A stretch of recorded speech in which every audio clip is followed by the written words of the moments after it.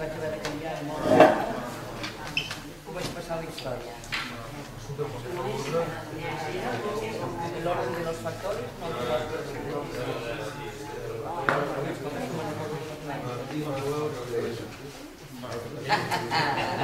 Te machacaré.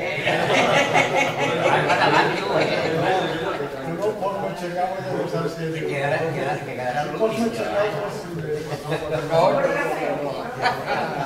Hem proposat el del 20, que és totalment aleatori perquè no sé per què es va posar així.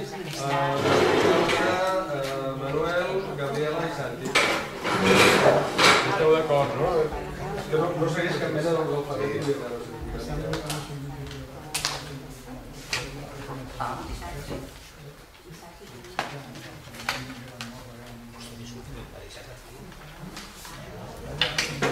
Sí?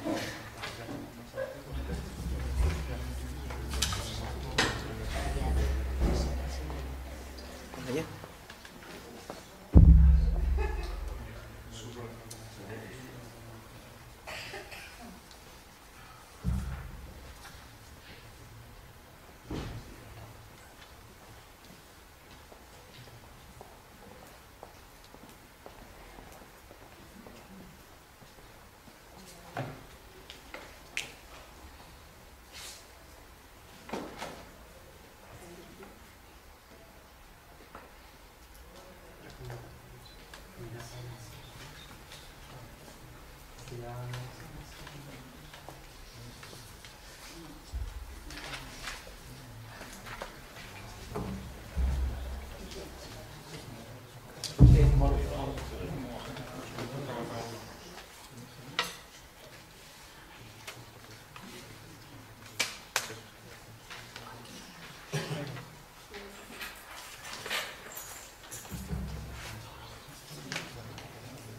Sí, sí, sí, sí, sí, una sensibilitat extrema.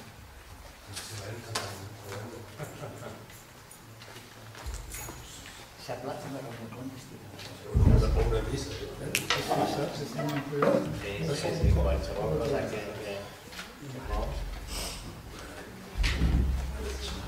Bueno, empezamos ya. eh, Buenas tardes, buena tarde, buenas tardes a, a todo el mundo. En primer lugar, nuestro intenso agradecimiento a, a las cuatro personas que nos acompañan. A Manuel, porque ha venido desde Andalucía expresamente eh, para la ocasión, pero también Gabriela, Martí y Santi, porque son veteranos y veterana, pero no precisamente veteranos y veterana inactivos, sino todo lo contrario, y han, han tenido la amabilidad de encontrar un hueco en sus intensas actividades. Es un placer, es un honor teneros aquí Bueno, como sabéis, esta mesa eh, tiene como título Organizaciones Políticas de la Izquierda Radical. Es un título un tanto confuso, con, introduciendo el término políticas ya intentamos eh, matizar un poco, pero quizá no es lo suficiente. ¿eh? Es decir, no, evidentemente no se pretende en esta mesa recoger ni reflejar el conjunto, el, todo el complejo abanico de la izquierda radical, sino que está dedicada a testimonios de, las principales organizaciones mm, políticas de carácter marxista y en su inmensa mayoría también leninistas, aunque del leninismo es muy, muy distintos, tal vez saldrá, saldrá luego en el debate. Yo creo que es importante una mesa de estas características porque si de modo general en el discurso dominante se tiende a patologizar el conjunto de las experiencias revolucionarias de, de aquellos años, pues quizá estas organizaciones son con cierta frecuencia objeto de una especial ridiculización en, en lo que es el pensamiento dominante. E incluso dentro del mundo alternativo o radical actual en el, que, en el que nos movemos de un modo u otro, pues hay una cierta estigmatización de estas organizaciones eh, como autoritarias, como algo rancio y, y anticuado ya, ya, en su época, frente a otras corrientes o experiencias que se caracterizan de modo a veces más, más angélico. ¿no? Yo creo que la experiencia y la realidad fue mucho más compleja y, por supuesto, sin renunciar a la necesaria mirada crítica o autocrítica, pues vale la pena revalorizar aquel ámbito y aquellas organizaciones en las cuales mmm, que fueron el canal de, de, participación y de activismo de decenas de miles de personas en el Estado español durante el antifranquismo y la transición y que tuvieron un papel central en la lucha antifranquista. Eh, precisamente por eso la, la, propuesta que hemos hecho a, a, la compañera y los compañeros que nos acompañan hoy es que como punto de partida en sus intervenciones eh, trataran de responder a... Gabriela me preguntaba, ¿tenemos que hacer auto, autobombo tal vez? ¿O cómo, cómo, tenemos que caracterizarlo? Yo decía, no, se trata de responder con, con, a la pregunta ¿cómo caracterizarías el papel de tu organización y del conjunto de organizaciones de la izquierda radical en la lucha antifranquista y en la transición. Bien, eh, os los presento brevemente eh, por el orden en que van a intervenir. Martí Causa fue militante del Front Obré de Cataluña, fundador eh, de la Liga Comunista Revolucionaria y miembro de su dirección durante toda la historia de la organización. También fue detenido, torturado y preso político entre los años 1974 y 1976, sino 5, perdón, cuando murió Franco. Eh, Manuel Gracia fue primero activista en las comisiones obreras juveniles, militante del FOC, eh, después del Partido Comunista Internacional y luego cuando este se convirtió en Partido de Trabajo de España, pues también del Partido de Trabajo. Miembro de la dirección estatal, mmm, y máximo responsable de la organización en Cataluña desde 1971 hasta, hasta el final prácticamente. Eh, Gabriela está en representación de dos organizaciones, ¿eh? pero ella empezó en plataformas anticapitalistas, de ahí pasó a los círculos obreros comunistas y con los círculos obreros comunistas eh, participó en la fundación de la Organización de Izquierda Comunista en 1974 eh, y posteriormente con la fusión de esta organización con, con, el MC pues continuó en el MC también con, con tareas de dirección en ambas, en ambas eh, organizaciones. Eh, también experimentó la represión, fue detenida, juzgada, en este caso absuelta por, por algún secuestro de autobuses. Eh, me he olvidado que también Manuel eh, sufrió detención, aunque no cárcel, cuando era miembro de las comisiones obreras juveniles. Y finalmente Santi Medina pues, fue un destacado militante del sector, obrero, del sector obrero de bandera roja, con un papel muy destacado en la fábrica Pegaso y participó en la dirección de bandera roja de Cataluña y también en la, en la estatal. Él no fue detenido porque se fue a tiempo, unas horas antes, y así no, no, no cayó cuando le iban a buscar. Para terminar y darles la palabra, ayer Iñaki García del local nos evocaba un personaje que la mayor parte de vosotras conoceréis, que es el, pájaro loco, Didac Fábregas, eh, dirigente en su momento de la, de la OIC, y lo ponía como ejemplo de aquellos dirigentes de las organizaciones de, de la extrema izquierda o la izquierda comunista que en, en, contraste con las bases pues acabaron instalando en el sistema y, y viviendo muy bien. yo creo que sin negar que existieran esos casos, las cuatro personas que tenemos en la mesa eh, representan a esos dirigentes que mm, siguieron luchando más allá de la existencia de sus organizaciones, siguen en la brecha y yo creo que no constituyen una excepción.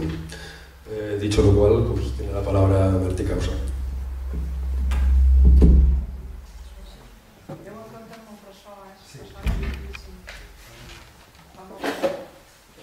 Buenas tardes, ¿se oye bien así?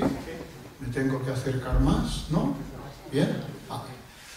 Ah, si hubiera visto un público muy joven, hubiera dicho en tono de advertencia, en los años 60 ah, las cosas estaban cambiando. Pero la mayoría de vosotros ya lo sabéis, aunque de esto hace muchos años. Cuando para mí empezaron a cambiar, o cuando yo observé que empezaban a cambiar, era el año 62, en las huelgas de Asturias, yo tenía 17 años y ahora tengo 74, o sea que estamos hablando casi de 60 años atrás. Pero en los 60, sobre todo a partir de medianos de los 70, de los 60 y, y finales de los 60, empezaban a cambiar muchas cosas en el Estado español y a nivel mundial. No os la recordaré para no enrollarme, pero estas cosas se tradujeron aquí por rupturas de las viejas organizaciones.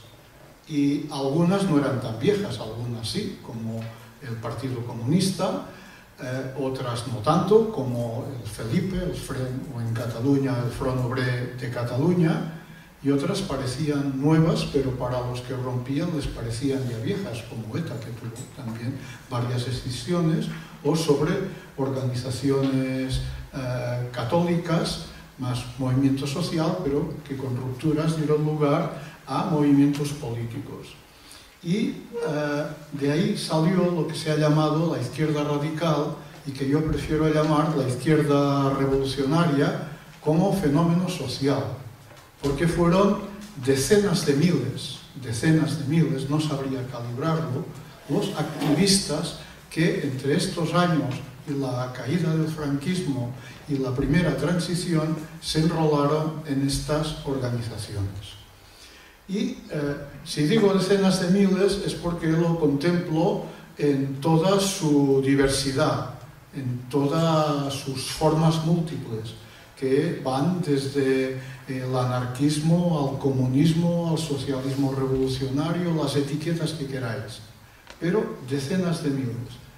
Pero a pesar de esto, eh, tenían algunos rasgos comunes, aparte de querer romper con lo viejo, querían romper con lo viejo porque creían en la actualidad de la revolución. Estaban impactados por revoluciones no solo la revolución rusa del año 17, sino por revoluciones más actuales. En aquel momento, para nosotros, Cuba era una revolución, ¿no?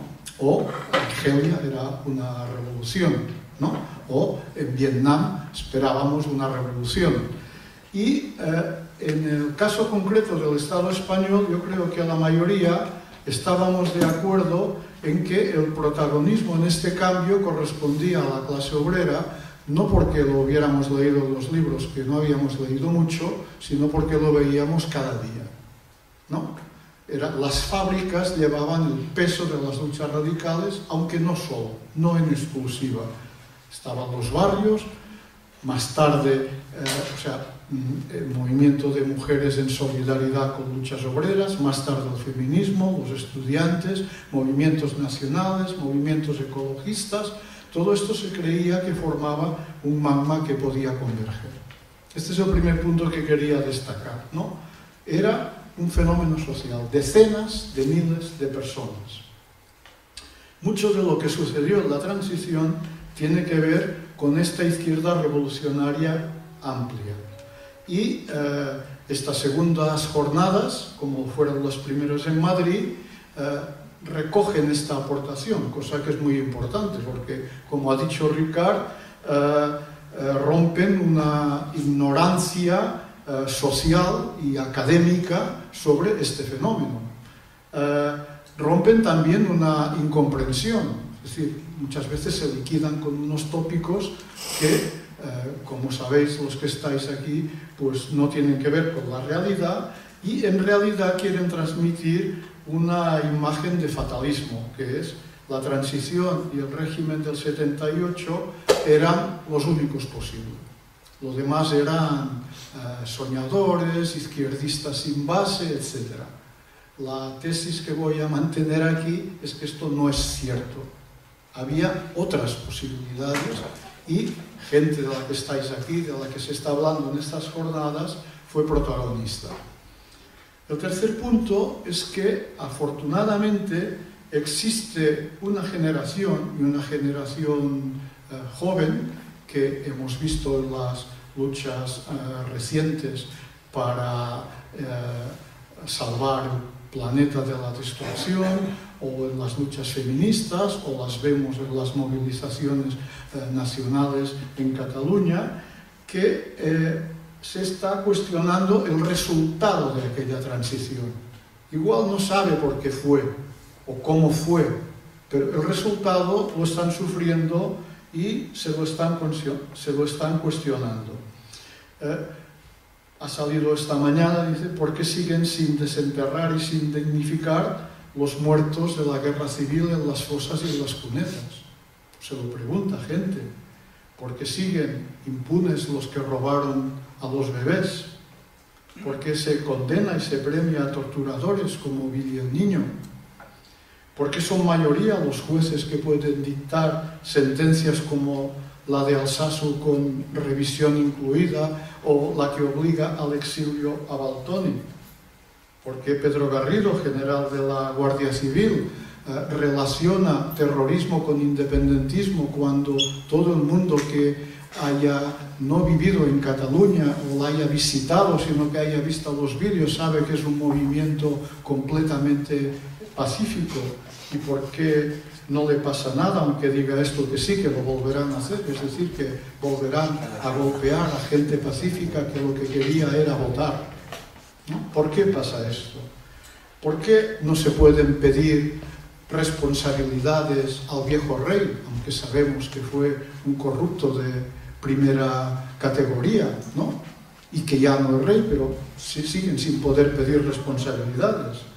¿O por qué el nuevo rey estuvo tan lejos de cualquier sentido de concordia que alentó a los que cuando salía la Guardia Civil hacia Cataluña gritaba a por ellos? La gente se cuestiona estas cosas. O se cuestiona por qué un estatuto, el último de Cataluña del 2006, votado por amplia mayoría en el Parlamento, votado por amplia mayoría en las Cortes después de recortarlo, votado en un referéndum, puede ser declarado inconstitucional cuando todos estos mecanismos eran plenamente constitucionales?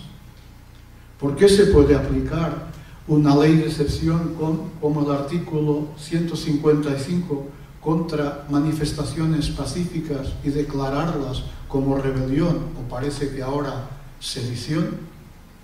Uh, ¿Por qué la, la, desobediencia civil al Tribunal Constitucional, desobediencia pacífica, es rebelión?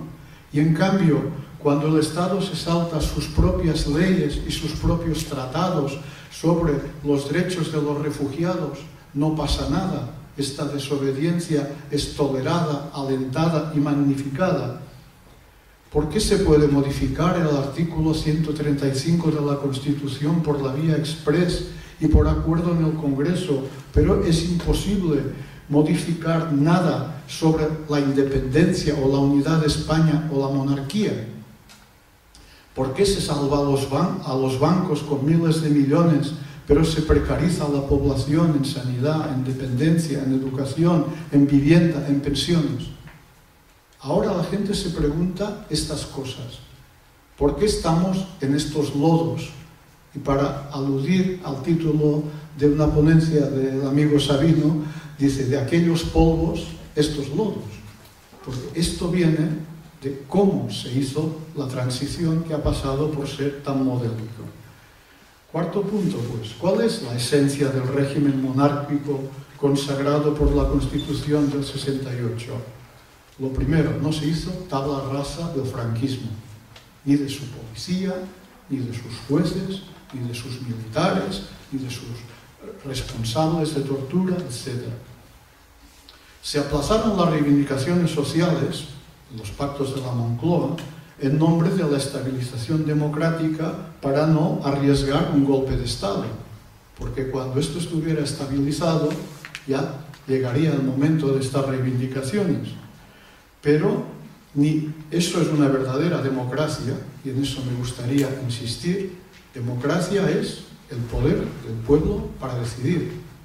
Democracia no es solo votar cada cuatro años o cada dos. Democracia, un vocablo que inventaron los griegos solo para los ciudadanos griegos, pero no para las mujeres, ni para los esclavos, ni para los extranjeros, pero para los que ejercían democracia era el derecho a decidir sobre todo. Lo que tenemos, si viniera aquí un griego antiguo, diría lo que tenéis es una oligarquía. Cuanto menos. Porque democracia era esto, el poder del pueblo. Se dijo, hay que esperar en nombre de la democracia, pero como dijo el 15M, le llaman democracia y no lo es. Esto hay que metérselo en la cabeza. No lo es. Democracia es el poder del pueblo para decidir, creo yo. Yo creo que la mayoría de la gente que habla de democracia con algún conocimiento no puede ocultar eso.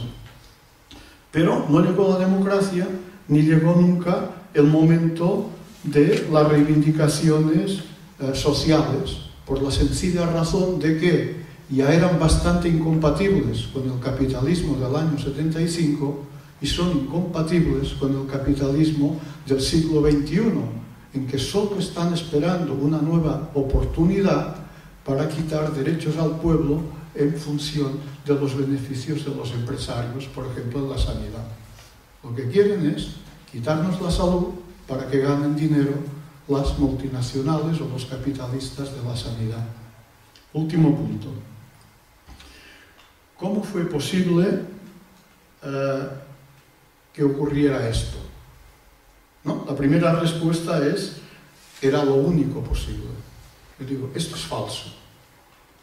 Nunca, nunca desde aquel momento hubo una mejor relación de fuerzas sociales para conseguir reivindicaciones que se pidan ahora. ¿no? Tanto en el terreno social como en el terreno político como en el terreno nacional. Os quiero recordar que cuando hubo uh, la discusión de la Constitución, una propuesta de autodeterminación, es decir, de un referéndum, que ahora esta reivindicación, sea por la vía unilateral o sea por la pactada, agrupa al 80% de la población de Cataluña, entonces tuvo un solo voto en el Parlamento. ¿No?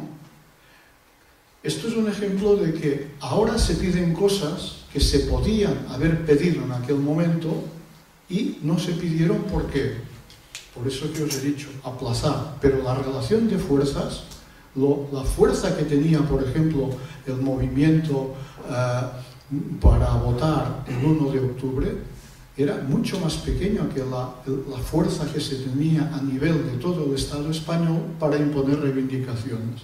Es decir, que la primera solución no era posible, es falso. La segunda es decir, bueno, entonces, ¿quién tiene la culpa? La respuesta fácil es que la tienen los partidos obreros mayoritarios el PSOE y el PC. Y no diré yo que no sea cierto, porque lo es. No, porque sin que ellos hubieran aceptado uh, la, la, monarquía, hubieran aceptado pactar la ruptura, hubieran aceptado renunciar a la autodeterminación y tal, eso no hubiera sido posible. Pero digo que es fácil porque ahora estamos hablando, los que estamos en esta mesa, como personas que hemos pertenecido a esta izquierda revolucionaria. Y yo creo que también tenemos que preguntarnos, tenemos que decir a la gente joven y a los historiadores jóvenes que nos pregunta, ¿y qué hicisteis mal vosotros? Porque alguna responsabilidad también debemos tener. Seguro que cometimos muchos errores. ¿Cuáles fueron estas cosas? No puede ser que toda la culpa sea solo de estos partidos mayoritarios. Debemos hacerlo, creo yo, sin masoquismos, porque hicimos muchas cosas buenas, muchas se están contando en estas jornadas, a nivel general, a nivel de pueblos, a nivel de sectores, muchas cosas buenas y esto es muy importante que, que se recuerde, que se reconozca y que se explique, pero por tanto sin masoquismos, pero también sin concesiones. No podemos cambiar lo que pasó, pero podemos aprender de ello. Y muchas gracias por vuestra atención.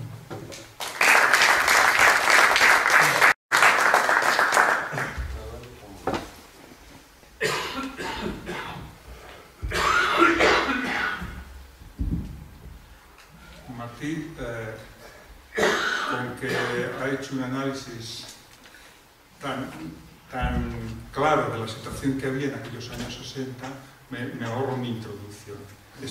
Aparte de que me adhiero con sus planteamientos en general. La última pregunta la dejamos para después. ¿Qué hicimos mal nosotros para que no fuera posible la ruptura? Esa me la dejo para después. Porque hay mucho preguntar, ¿eh? Mucho preguntar.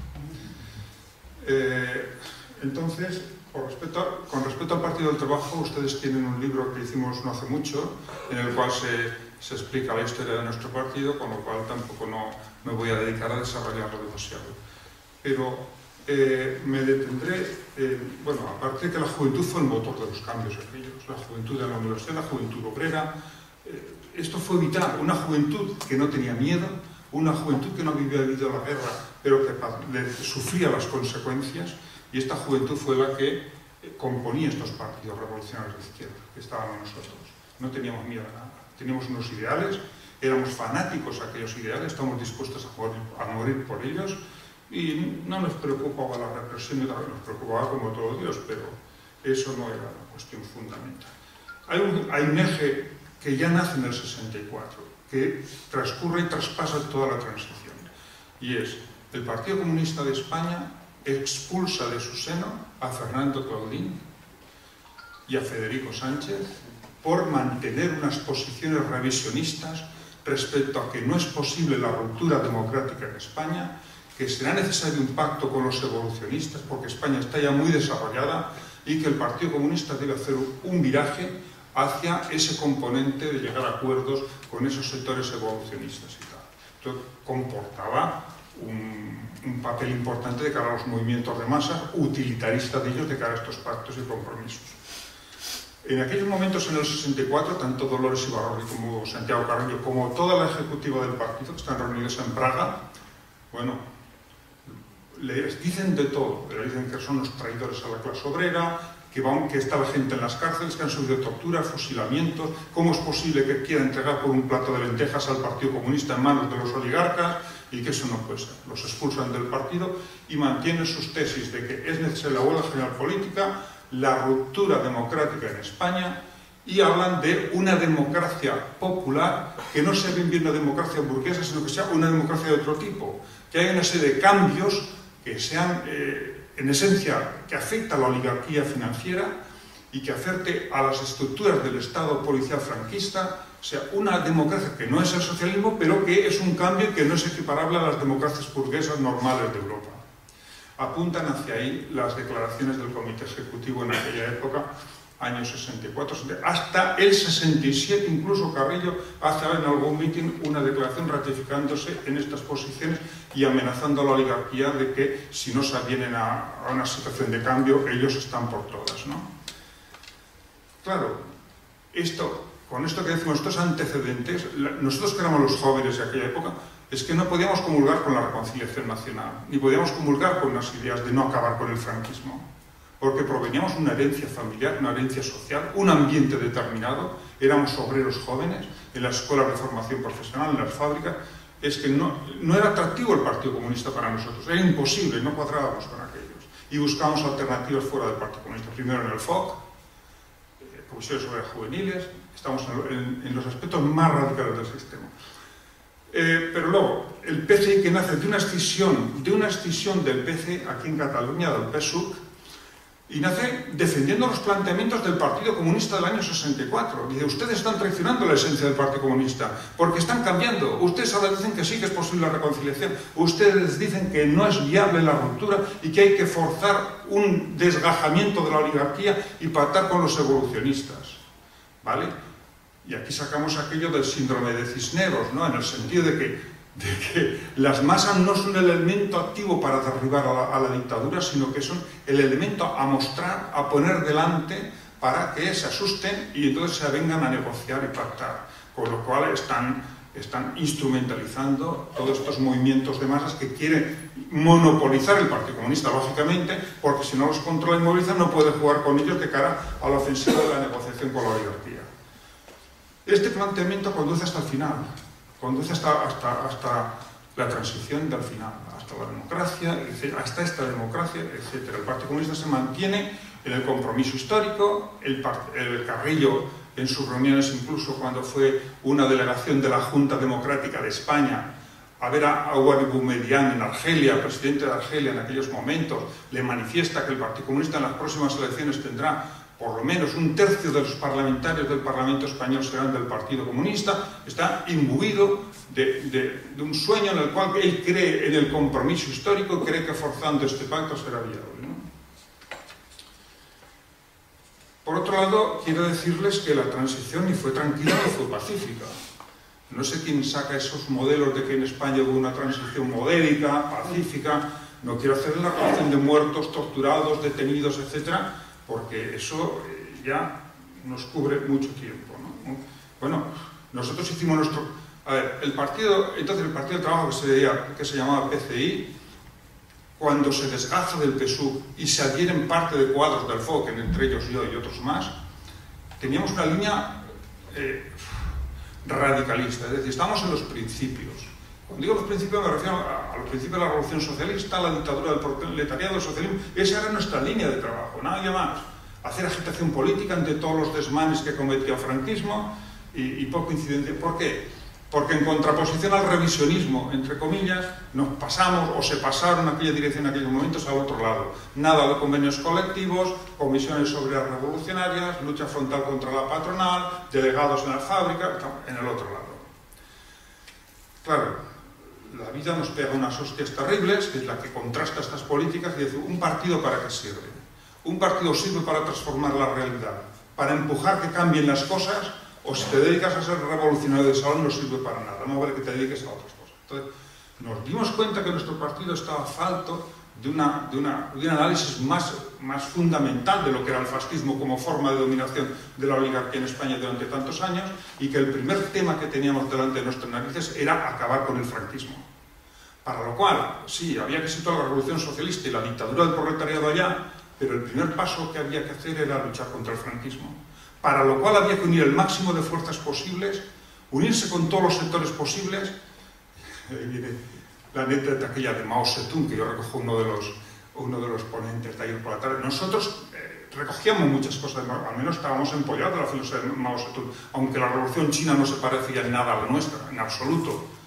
Pero una definición clara de decía, hay que saber muy bien quiénes son nuestros amigos de quiénes son nuestros enemigos.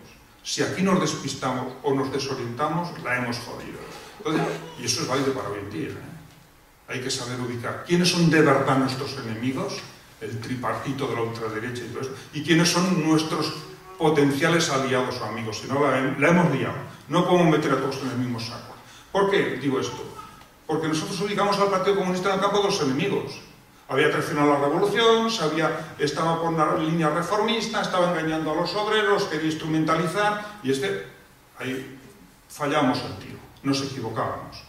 Es verdad que había hecho todo esto, pero está, era el partido que había luchado más contra el franquismo, era el partido que era tenido por todo Dios como su partido, y estaba en todas las fábricas, en todos los sitios. Este era nuestro aliado fundamental contra el franquismo.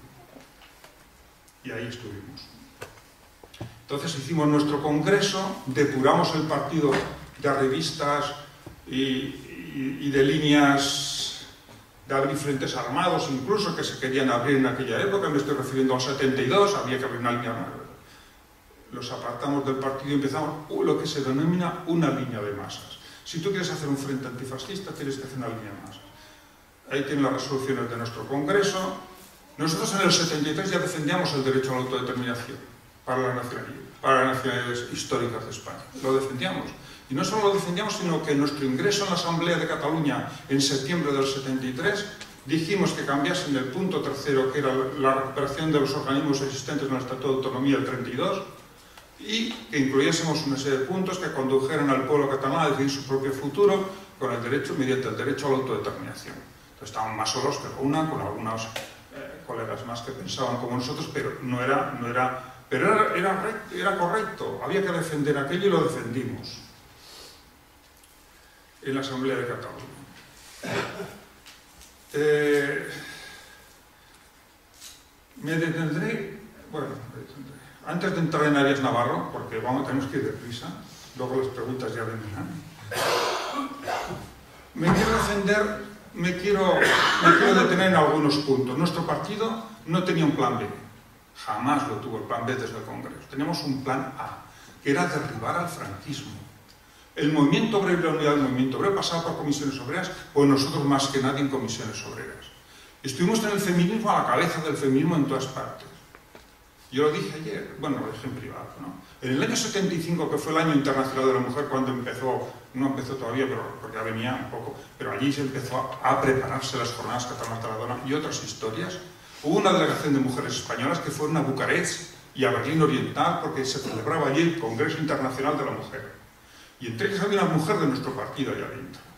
Y entonces nosotros, a partir de que regresaron, con la Asociación de Naciones Unidas y otras organizaciones, juntos, el PSUV, nosotros y otras entidades, y otras entidades, MC, ORT, todo esto, empezamos a, promover aquí las jornadas catalanas de la dona y en España luego la Asociación Catalana, la Asociación Catalana, la Asociación de la Mujer. Pero por ejemplo, nosotros en Andalucía, para nosotros el movimiento jornalero era fundamental. Éramos el partido con más incidencia entre los jornaleros de Andalucía. Y a las pruebas me remito. Todo Lebrija, todo el campo de Jerez estaba controlado por militantes del Partido del Trabajo. Si vosotros queréis hacer un encuentro con gente magnífica, os invito a que vayáis a Lebrija y habléis con Gonzalo, el bizco Patoto, habléis con él, un hombre de casi 80 años, ese, en el año 66, en las elecciones a delegados de empresa, fue elegido eh, el responsable provincial del sindicato vertical del campo, por la sección social, por los trabajadores, ese. A eso lo llamó el Comín, que era nuestro, nuestro director técnico, porque estaba Alfonso Carlos Comín estaba promoviendo cristianos por el socialismo y lo llamó para que viniera aquí y estuvo también en ese cotarro. Era un señor este que os digo, que es un señor que vive, que lo detenía la Guardia Civil porque estaba siempre dando la cara en, la, en el campo. Lo detenía la Guardia Civil y se lo llevaba al cuartelillo por orden de los caciques. Y se reunían 250 jornaleros en la puerta del cuartel. Y el teniente le decía, bueno, ¿y ahora qué hago, Gonzalo? Ah, usted mismo. Pues lo tenía que soltar al otro día porque no sabían qué hacer. No sabían qué hacer. Y fueron gente que han luchado mucho por el movimiento jornalero y han luchado mucho por la tierra. Hasta tal punto que había tierras comunales allá del Estado que con el primer gobierno de Felipe González con el ministro de Agricultura consiguieron ceder aquellas tierras a los jornaleros repartidas en lotes para la explotación individual de ellos, en el pueblo de Lebrija. Pero me voy a referir a otra cosa que aquí no ha salido estos días y que yo me van a gloria y quiero decirlo. Nosotros en el 74 nos reunimos, en la ejecutiva del partido y decimos el eje fundamental el eslabón fundamental que tiene la dictadura es el ejército. Si no conseguimos controlar el ejército, lo hemos jodido. Porque el ejército es el que reprimirá al pueblo cuando el pueblo se lance a la ofensiva para derrocar al fascismo. Y decidimos hacer una política para el ejército. El ejército tenía dos componentes, la clase de tropa y los suboficiales, oficiales y mandos. Había que incidir en los dos aspectos. Y a eso nos pusimos dos minutos. A eso nos pusimos. Nosotros debéis de contar que teníamos unos 250 militantes en el ejército, los soldados, entre Joven Guardia Roja y partido en toda España. Montamos una Secretaría Central de los Soldados para organizarlo y montar un movimiento de soldados para luchar por su dignidad, ganarnos a la clase de tropa en sus reivindicaciones básicas. Porque no se trataba de preparar un movimiento insurreccional en los cuarteles, no, no estábamos locos. Nosotros lo que queríamos era bloquear cualquier salida de los cuarteles por parte de los fascistas para reprimir al pueblo. ¿eh? Esta era nuestra intención. Entre oficiales y suboficiales, pues metimos gente en la Academia Militar de Zaragoza, sabiendo muy bien cuáles eran los, exámenes que había que hacer para entrar, y en la Academia de Suboficiales de, eh, de Pobla de Segura, allá arriba del tren, en Talar. Metimos gente en el ejército, por la vía de entrar en las academias militares. Y metimos gente en el ejército porque forzamos a muchos, bueno, forzamos, les propusimos que hicieran de milicias universitarias para tener también galones. Y también metimos en el ejército gente que eran del cuerpo de sanidad, del cuerpo jurídico y de otros cuerpos que no eran de armas directamente, pero que también llevaban galones y era muy fácil entrar en el ejército por esa vía indirecta. Y redactamos un libro que salió publicado legalmente, España en la OTAN, por nuestra Secretaría del Ejército, porque hasta la última etapa de la transición pensábamos que el ejército iba a ser utilizado contra las movilizaciones obreras y populares. Y era clave impedir y machacar cualquier movimiento, desde... yo tengo informes en casa eh, mediante el cual, uno por uno, sabemos todos los cuarteles más importantes de España, con la tropa que había, armamento que tenían y quién lo mandaba, y quiénes eran aquellos oficiales que había allá. Bien por soldados o bien por suboficiales que teníamos allá dentro y, y, y nuestro equipo del ejército preparaba un plan para cada cuartel de cómo frenar una ofensiva fascista de aquellos cuarteles. Este, hasta ahí llegamos. Y no tenemos tiempo, ¿no? Me tengo que quedar aquí. Bueno, pues quedar aquí. Ya en el debate es otra cosa. Sí. Ah, no. Porque, ¿Y por qué no te digo más cosas? Porque yo pensaba que conocía la gran fuerza de vuestro partido, pero con lo que acabas de decir, lo que no entiendo es cómo va a ser la revolución. Pero bueno, vamos por partes. Sí. Yo, yo no, no, me atrevería a decir que, que, para que nos aclaremos, comparto absolutamente todo el marco que ha hecho Martín, eh, menos quizá su optimismo respecto a qué nivel de revolucionarios teníamos en España al final de la transición. Ya lo explicaré. Pero hay una cosa que sí que quiero matizar. Yo no creo que, digo porque habéis utilizado este término, ¿no? que se pretendiera ridiculizar a la izquierda revolucionaria, extraparlamentaria, que nos llamemos como quieran, sino que yo creo que sustancialmente lo que se pretendió durante la transición fue anular, acallar y no reconocer lo que se había planteado pero no para ridiculizarlo, sino que yo creo precisamente para anular la verdad de esa izquierda revolucionaria, de esa izquierda eh, buena, por decirlo de alguna manera. ¿Por qué lo digo? Lo digo porque cuando, cuando Martí habla de que éramos muchísimos y que se podrían haber hecho las cosas de otra manera, yo creo que indiscutiblemente se podrían haber hecho las cosas de otra manera. Pero yo creo que uno de los errores que cometimos eh, todos los que estamos en esta mesa, lo que representábamos, fue sobrevalorar demasiado el nivel de conciencia que tenía nuestra gente. Y yo siempre estuve en el frente de barrios, que llamábamos el frente de barrios, y yo me acuerdo que me pasaba la vida diciendo las condiciones objetivas deben estar muy dadas, pero las subjetivas no las veo yo tan claras, porque las subjetivas yo no las veía. Yo no veía que detrás del aumento de sueldo hubiera revolución y libertad, yo no veía que detrás de la escuela que se exigía había revolución y libertad, yo no veía que detrás de, etcétera, del autobús que secuestrábamos hubiera revolución y libertad, yo veía que había el derecho imperioso de mejorar las condiciones de vida de la gente y de mejorar también pues, una vida normal y normalizada. ¿no? Yo creo que sobrevaloramos un poco eso y por otra parte eh, banalizamos un poco la capacidad de reacción la capacidad del sistema capitalista de utilizar elementos como el consumo, como el miedo, como cierto respeto en un momento dado que les interesó a las luchas economicistas. ¿no? Yo creo que esa capacidad de adaptación, de, de innovación en sí misma que ha demostrado el sistema para ser capaz de meter en su engranaje en el engranaje del libre mercado, del consumo, etcétera, etcétera, a una gran parte, por no decir a la totalidad de nuestras clases populares, es, es una lacra que aún hoy, aún hoy sufrimos, ¿no? Mm, y yo creo que ese fue un error. Tú preguntabas errores, pues yo empiezo hablando de, de errores. Yo creo que eso fue un error, ¿no? Y quizá porque nos llegó tarde, nos llegó tarde el descubrir que las clases populares y la clase obrera no eran genéticamente revolucionarios, sino que esto se iba construyendo, si podías, a lo largo de la vida, pero ser explotado en sí no era ningún garante de que hubiera una reacción revolucionaria. Quizá teníamos que haber leído un poco antes a Hobsbawm y un poco antes a Thompson y haber entendido más cosas y haber digerido mejor eh, la clase obrera en sí, la clase obrera para sí, y haber releído mejor ¿no?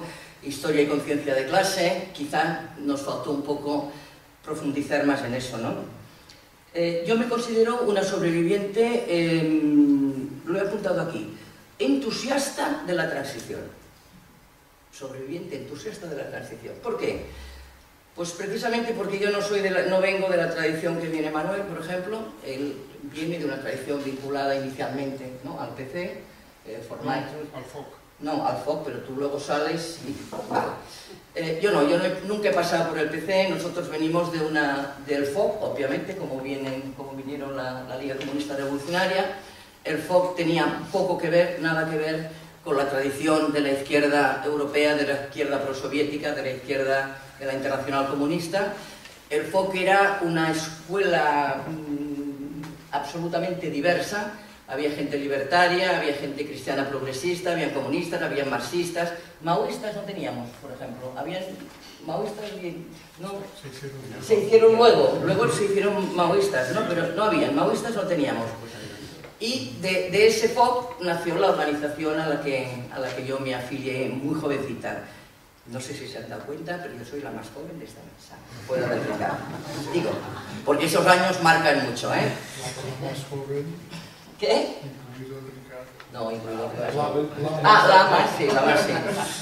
Eh, y yo creo que eso nos dio un marchamo diferente. O sea, cuando, cuando Círculos Obreros Comunistas, que el nombre es muy bonito, ¿eh? Círculos Obreros Comunistas, em, nos definimos, salimos, es una expresión del FOC, salimos del FOC, como en ese momento salieron tantísimas. Lucha de clases, cuadernos rojos, la LC, la LCR, la ORT, todos salíamos de, ese gran conglomerado, la ORT con una gran relación con el mundo cristiano jesuítico, pero bueno, em, desde un primer planteamiento nos definimos algo que en aquel tiempo era como muy duro de anticapitalistas. ¿no? Yo ahora que he estado muy cerca de la PUC me río mucho cuando dicen que ellos descubrieron el anticapitalismo. Yo digo que desgraciadamente en el año 71 creamos las plataformas anticapitalistas y con tanto mucho caso no nos hicieron, pero como mínimo lo intentamos. ¿no? Ese anticapitalismo, que era una mezcla de Gramsci, Lukács, Marx, Lenin, Rosa de Luxemburg, etcétera, etcétera, yo creo que nos dio, nos daba una libertad muy grande respecto a otras fuerzas políticas que su cuerpo doctrinal era un cuerpo doctrinal muy hecho, muy definido, muy, muy estatutario, diríamos, ¿no? Éramos una diversidad que podía ser parte de nuestra riqueza, yo creo que lo fue, pero también en algún momento fue parte de nuestra debilidad, porque ese, ese recorrer eh, tantas posiciones a veces hacía que por el camino pudieras perderte, ¿no? Eh, pero yo creo que fue interesante, muy interesante, el tener una organización de izquierda revolucionaria. De bien tenía que había mucho arraigo. Yo creo que, por ejemplo, en círculos obreros, ese mundo que tú decías de esos jóvenes universitarios radicales y revolucionarios, en círculos obreros no los teníamos. No teníamos. Teníamos proletarios, proletarias, clases populares, y eran gente muy arraigada en el territorio, y eso nos dio mucha fuerza. Yo creo que nos dio más fuerza al nivel de nuestra incidencia en las luchas locales y en las luchas trabajadoras que a nivel político, porque esa variedad de principios ideológicos hacía que en última instancia que el partido tuviera importancia, que el partido fuera reconocido, no nos importaba tanto. Nos importaba sobre todo que nuestras comisiones de barrios, que las plataformas anticapitalistas de empresa, que los consejos obreros, después os explicaré una anécdota por eso de la ideologización, que es muy divertido, ¿no? Eh, nos importaba mucho más eso. Y yo creo que eso fue algo que aportamos muy positivamente en el proceso, ¿no? Yo creo que también había una, mezcla que recogíamos de, de, yo creo que todos los que estamos, las organizaciones que estamos aquí, podemos decir que había un nivel de militancia enorme, de voluntariedad y de entrega enorme. O sea, nuestra vida era la militancia, para bien y para mal, porque no siempre fue para bien, ¿eh? para bien y para mal. Eh, una militancia hecha de un montón de renuncias, o sea, de elecciones, porque cada elección implica una renuncia, ¿no? pero desde la libertad individual de cada militante una gran capacidad de, de entrega y, y, de, y, de, pues eso, de, de, renuncia. ¿no? Yo creo, por ejemplo, que es, es importante mmm, el nivel de resistencia que Círculos Obreros y después OIC fuimos capaces de tener con ese anticapitalismo respecto a todo aquello que sonara a perder principios. Por ejemplo, yo creo que de los que estamos aquí, vosotros y nosotros somos los únicos que no estuvimos nunca en la Asamblea de Cataluña. No sé si fue una cierta. en aquel momento nos lo pareció. En aquel momento nos lo parecía, ¿no? Porque aquello era interclasista, era no sé qué, era no sé cuánto, era que estaban tirios y troyanos, y eso no podía ser. También, también, porque al menos eh, Círculos Obreros y OIC, el tema nacional, era, ahí sí que éramos de la clásica izquierda, donde el tema nacional, eso era caso, era un tema que al proletariado, a la clase obrera y a los populares no les importaba. Llegábamos hasta el derecho de autodeterminación, entre otras cosas porque Lenin lo reconocía. Pero ahí nos quedábamos, ¿no? En cambio, habían otras fuerzas que sí que habían tenido una opción muy clara, como fue el MC. El declive de la OIC, aparte de Diego Fábricas, que tuve el honor de expulsarlo de la organización de Cataluña, eh, yo creo que representó ese momento difícil. La transición, que a mí me gusta definirla como la, define, la definía eh, Antonio Domènech, ¿no? la segunda restauración borbónica, me gusta más porque la palabra transición no es mala, ¿no? entonces mejor la llamamos restauración borbónica. ¿no? Esa restauración borbónica impactó mucho en todos nosotros. ¿Por qué? Yo creo que precisamente porque como habíamos sobrevalorado el nivel de conciencia de las gentes que nos rodeaban, como habíamos, yo creo, minusvalorado la capacidad de entrar y de hacer, y de hacer fractura que tendrían desde el poder, desde los mismos poderes, porque la restauración borbónica no modificó ni el poder político ni el poder económico, el poder político formalmente, pero ni el poder económico ni el poder judicial, ¿no? No hubo depuración, lo ha explicado muy bien Martí, de ninguno de los ámbitos, de ninguno de los poderes, ¿no? Y eso generó una cierta frustración. Yo creo que en ese momento, incluso vosotros, Manuel, lo vivisteis profundamente, como todo. O sea, ¿por qué nuestra gente, por qué era nuestra gente? ¿Por qué nuestra gente votaba PC? ¿Por qué nuestra gente votaba PSUV? ¿Por qué no nos votaban a nosotros? Que éramos los que habíamos estado en el tajo hasta el último momento. Los que... Y esa frustración que creó en muchos sectores inició una diáspora de la izquierda revolucionaria, unos hacia casa y otros hacia los partidos que contaban en la esfera política. Y los partidos que contaban en la esfera política, indiscutiblemente, todavía en aquel momento eran el PSUV, eran el PC, desde la izquierda. Es más, algunos incluso dieron un salto más grande y se fueron al PSOE que eso ya era un salto de pirueta, ¿no? Irse al PSOE, ¿no? Y yo creo que Diego Fábregas, aparte de otras debilidades múltiples que tiene, eh, que sigue teniendo, eh, eso, eso afectó mucho, como a otros dirigentes, solo que él se le unió con su malestranza a otros niveles. Pero yo creo que ahí jugó, jugó porque veníamos de un FOC donde estábamos, por ejemplo, con Pascual Maragall, donde estábamos con Urenda, donde estábamos con una serie de personas que habiendo optado con la ruptura del FOB para ir a otras fuerzas políticas, estaban actuando y eran actores de la escena política formal. Y eso, en un momento de pérdida de horizonte respecto a cuál es realmente la implicación de las ideas revolucionarias en las amplias capas de, sectores populares, de la clase obrera y del pueblo trabajador, como hacíamos entonces, la clase obrera y el pueblo trabajador, creó un poco esa, esa desesperación, creo yo, ¿no? Y eso nos afectó, nos afectó a todos, ¿no? Yo creo que también nos afectó el que no fuimos capaces de romper con nuestra ideologización. Éramos organizaciones políticas quizá profundamente ideologizadas. ¿eh? Y por eso posiblemente eh, aprovecho para decir que toda mi vida envidiaré a la Liga Comunista Revolucionaria, porque después de la ruptura de la revolta, cada vez que voy a alguna lucha, me encuentro a cero MCs y a tres LCRs. Y esto me fastidia mucho. ¿Qué? O más. O más. Y esto, esto sabes que siempre se los digo cuando veo un trosco, le digo tal. Entre otras cosas porque OIC tenía relación con el CR. Eh, OIC, por ejemplo, aceptaba lo que nosotros decíamos el trosque revolucionario, ¿no? el trosque de la revolución permanente, aunque no reconocíamos la Cuarta Internacional. y además porque en el FUT, en la primera candidatura del 77 del Frente por la Unidad de los Trabajadores, habíamos unido al PUM, que sí sentíamos más nuestro, pero también a la LCR, que estaba con nosotros en esa, en esa guerra. Por tanto, cuando llega ese momento que ya somos OIC, que ya somos MC, somos MC porque el MC nos absorbe, así de clarísimo. Hay un momento muy duro en OIC, un momento muy duro que perdemos, echamos, se va, es igual, no me importa. Al secretario general, eh, otros cuadros directivos de la organización salen, eh, seguimos manteniendo OIC como fusión de círculos obreros y núcleos obreros de, Euskadi, pero realmente hay un nivel de, de, flojeza grande y en ese momento el acercamiento al MC lo vemos como una salida posible de superación al, al acabar perdidos en, en un mar. ¿no?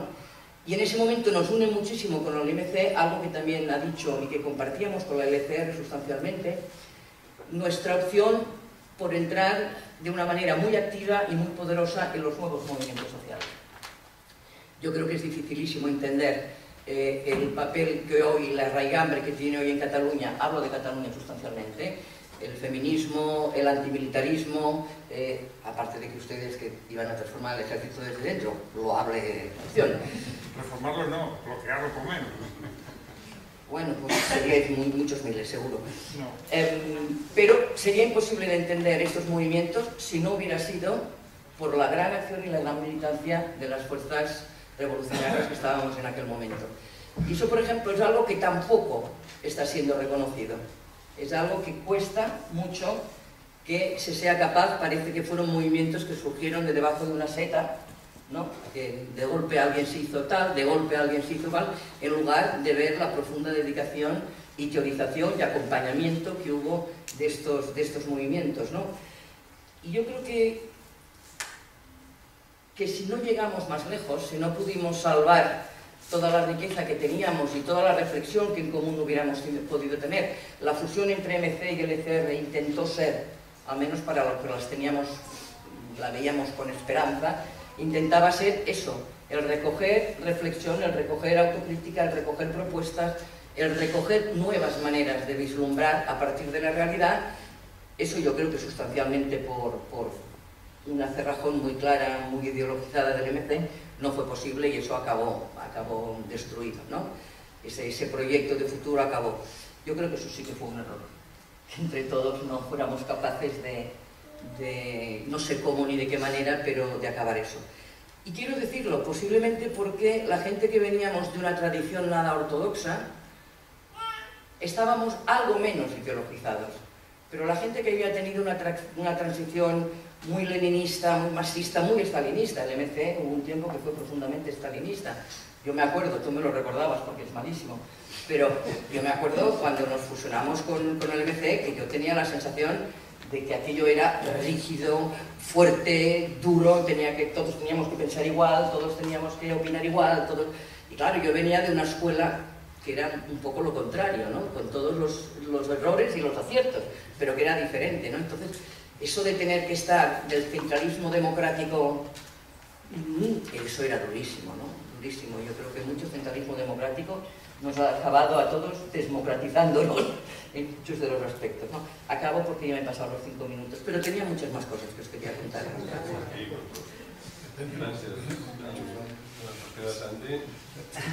Bueno,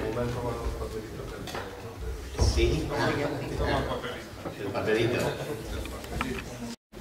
esto de, intervenir el último, pues te hace cambiar un poco la idea que tenías e incluso introducir otras. Pero bueno, no del todo, no del todo porque veo, o sea, yo comparto ¿no? Eh, la introducción o la primera base que ha hecho Martín, ¿no? de, todo ese proceso, y recojo ¿no? dentro de eso esa idea central que ha dicho él, el papel del movimiento obrero. Hoy Mm, en la lucha política que hay en, en mente, si habláramos del papel del movimiento diríamos, bueno, pues yo qué sé, si solamente que fuera acompañante, fuera de comparsa, ayudará ¿no? a, cómo se van yendo la lucha política, pues harían un favor. Pero hay un sector importante del movimiento obrero ¿no? que está sobre eh, las directrices de un sindicalismo domesticado que hace imposible que el movimiento obrero juegue el papel tan importante, decisivo, que jugó desde el año 62 hasta el año prácticamente 80, diría yo, ¿no? Eh, yo a los, eh, en el año 1962, eh, tener 14 años y entrar a trabajar en una fábrica que se llamaba Pegaso. ¿eh? Con 14 añitos, ¿no? Pues entraba a trabajar a la escuela de aprendices. Y yo venía de una familia campesina, sin tierras, ¿no? ¿no? Eh, que no tenía nada y habíamos venido del, del, pueblo, de un pueblecito que se llama Sailices, en el 56, aquí a Barcelona. ¿no? Y eh, para mí, la izquierda revolucionaria, que como decía Martín, prefiero el nombre izquierda revolucionaria a la izquierda radical o a la izquierda, no sé, extraparlamentaria, lo que sea, yo la, fue una escuela impresionante. ¿no? Éramos gente que veníamos prácticamente, que dice por ahí un compañero que tengo allá atrás que ha hecho un libro precioso, de San Antonio Castán, pues eh, este decía, veníamos del arado, ¿no? del campo y tal, eh, otros éramos muy pequeñitos, ¿no? Pero en pocos años, o sea, esto que decimos, esto que veis aquí, ¿no? Todo esto de la que es la más joven, pero imaginaros a todos estos con 20 años y prácticamente ya con 20 años asumiendo responsabilidades de dirección política y de estar al frente de fábricas de movimientos obreros. Hoy sería impensable que un joven de 20 años pues, estuviera en esas condiciones. Pues eso era así porque había una clase obrera que yo creo que, claro, se dio porque era, eh, cuando yo venía del pueblo, en el 56, aún teníamos eh, la guerrilla y el maquis que seguía pegando tiros. ¿no? Eh, os lo digo porque después me enteraba, no es que me enterara porque en mi casa me lo informara mi padre, que había sido republicano, represaliado, y yo veía que, que lo reprimían en el pueblo, le hacían hacer cosas, ir a la comisaría, bueno, a la Guardia Civil cada semana, cada fin de semana, pero no sabía muy bien por qué iba mi padre a la, a la Guardia Civil, ni él me había contado nunca nada, pero ese tipo de situaciones, ¿no? Nos hacían eso, ¿no? O sea, decir, pues, hostia, desde la guerrilla se acaba la guerrilla y de golpe hay una nueva fuerza que pasa a ocupar ese espacio que es a partir de los años 62, para situarlo, pues no, en las huelgas de los mineros. Yo cuando entro en Pegaso en el 62, en octubre, noviembre, ya acababan de, hacía pocos meses, desarticular la célula del SUB y habían detenido a no sé cuántos, a unos habían mandado a grupos con uh, cerca de 15 o 20 años de condena, los otros habían salido hacia el exilio y tal. Pero inmediatamente, como una cierta continuidad, se empieza a reconstruir un movimiento obrero que tiene unas características absolutamente nuevas, es lo que decían. Es gente que no viene de las estructuras del PC, ¿no? Decíamos, no, no, no venimos de las estructuras del PC. Prácticamente la, la policía y nos desconocen, no sabe quiénes somos, ni por qué actuamos. Y empezamos a organizar y se multiplica de una forma muy rápida. Son, como decía Martí, miles y miles de trabajadores jóvenes organizados que empiezan. Y ahí está, yo creo, el mogollón de la situación. Es posible que, como decía Manuel, nos tuviéramos que preocupar del ejército ¿no? y nos tuviéramos que preocupar de otras cosas. Pero el problema, yo creo, central era el movimiento obrero. El movimiento obrero en aquel periodo es el, ¿no? la piedra fundamental de la lucha contra la dictadura. Y eh, el acompañante era los estudiantes, que rápidamente sabían. Y era muy normal que los trabajadores jóvenes nos fuéramos a la universidad, no a explicar a, a los estudiantes pues la huelga nuestra de Pegaso, la huelga de Osa, o la huelga de Cumbre, o la huelga de Harry Walker, a explicarles cómo los obreros nos organizábamos y cómo los obreros combatíamos contra la dictadura. ¿no? Y aquí estas huelgas fueron muy importantes. Es, yo creo que en ese periodo se dan unas circunstancias, yo creo que es extendible prácticamente a todo el Estado, de que eh, esta izquierda revolucionaria, ¿no?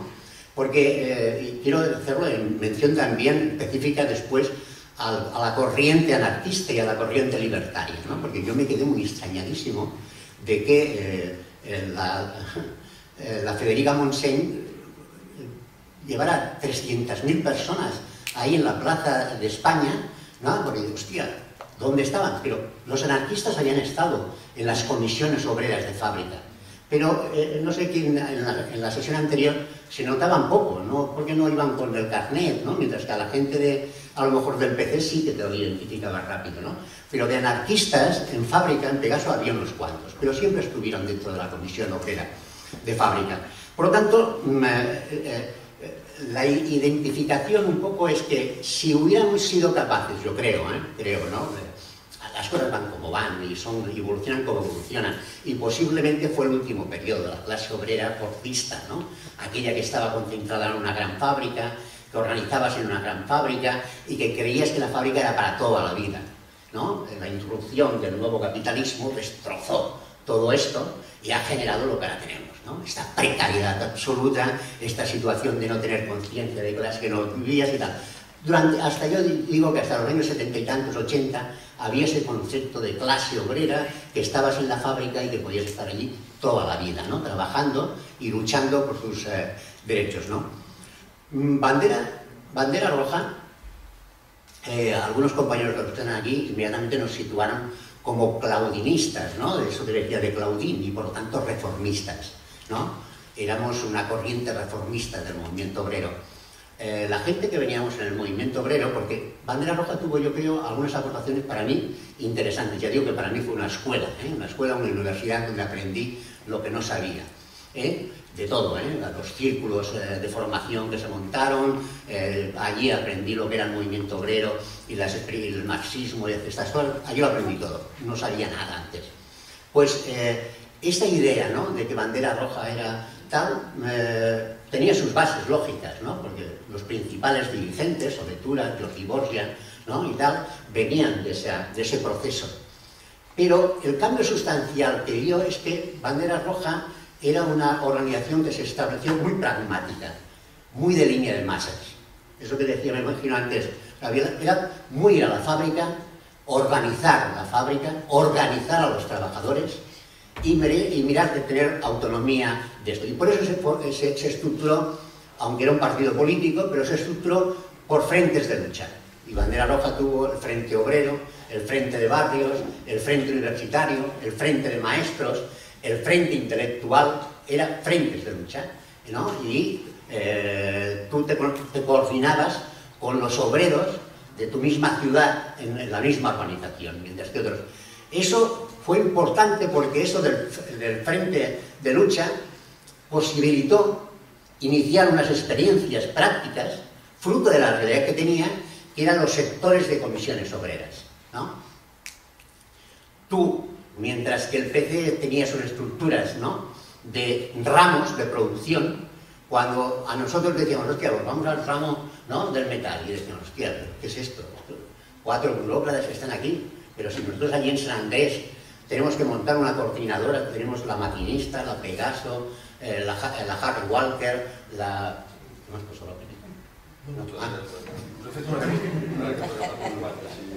eh, pues ¿por qué no nos organizamos en función de una realidad objetiva, que es la zona, más que el ramo, la zona geográfica? Y montamos aquello de las comisiones obreras de sectores, ¿no? Y eso se extendió. Yo creo que también fue muy importante, no, no solamente esto, eso, alguna idea que salía antes de, del comín, el papel de los cristianos, de esos cristianos, ¿no? Eh, por eh. Eh, la teoría de la, libertad, ¿no? Pues jugaron un papel importante porque introdujeron gente joven, ¿no? Dentro de las fábricas y por lo tanto también dentro de la estructura sindical. Fue muy importante, ¿no? los cristianos dentro de, de, esa cuestión. Carlos Comín, García Nieto, ¿no? el cura Casasola en, en Sevilla, ¿no?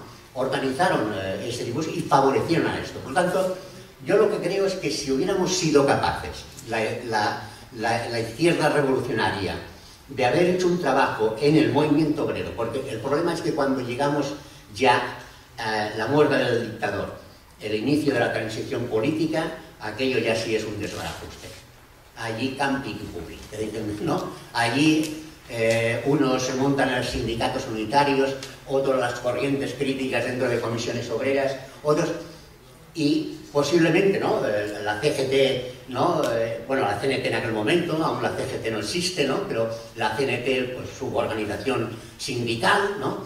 La UGT que monta su organización sindical, y ahí yo creo que fue la derrota que provocó las otras derrotas, ¿no? Que fue la incapacidad de que la clase obrera consiguiera una organización unitaria de los trabajadores. Comisiones Obreras había sido, durante aquel periodo,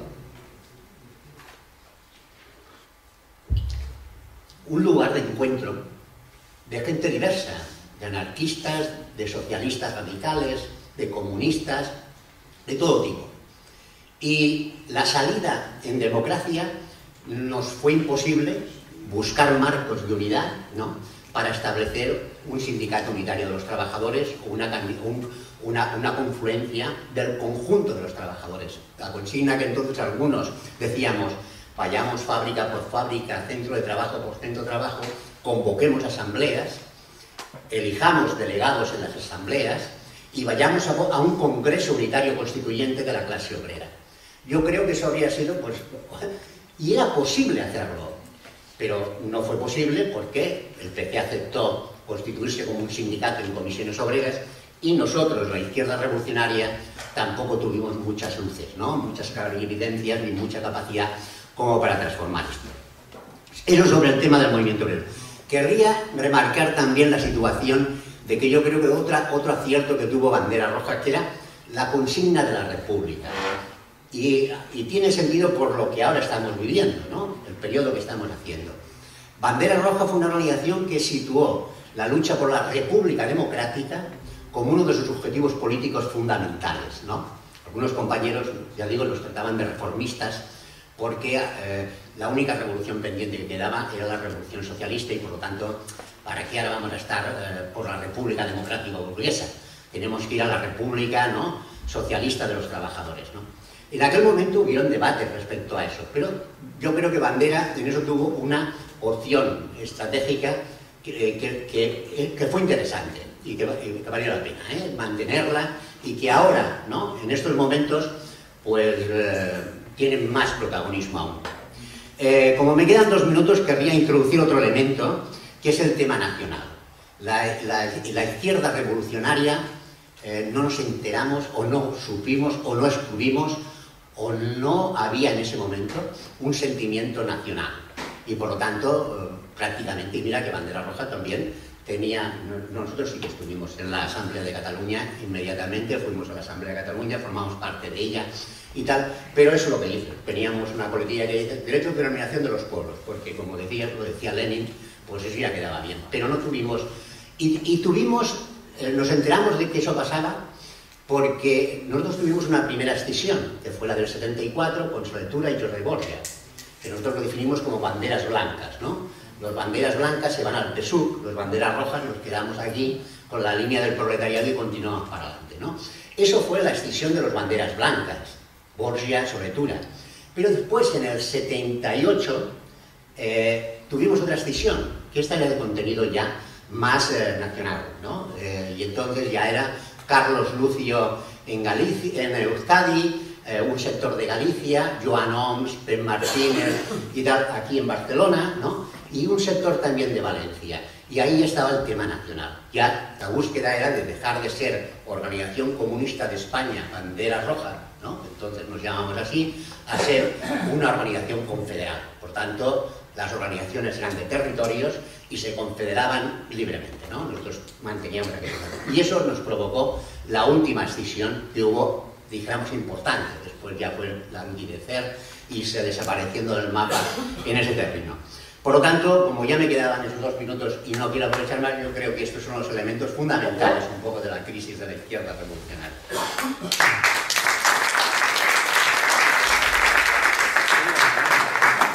La disciplina y abrimos sin más el turno de palabras. Es que somos disciplinados.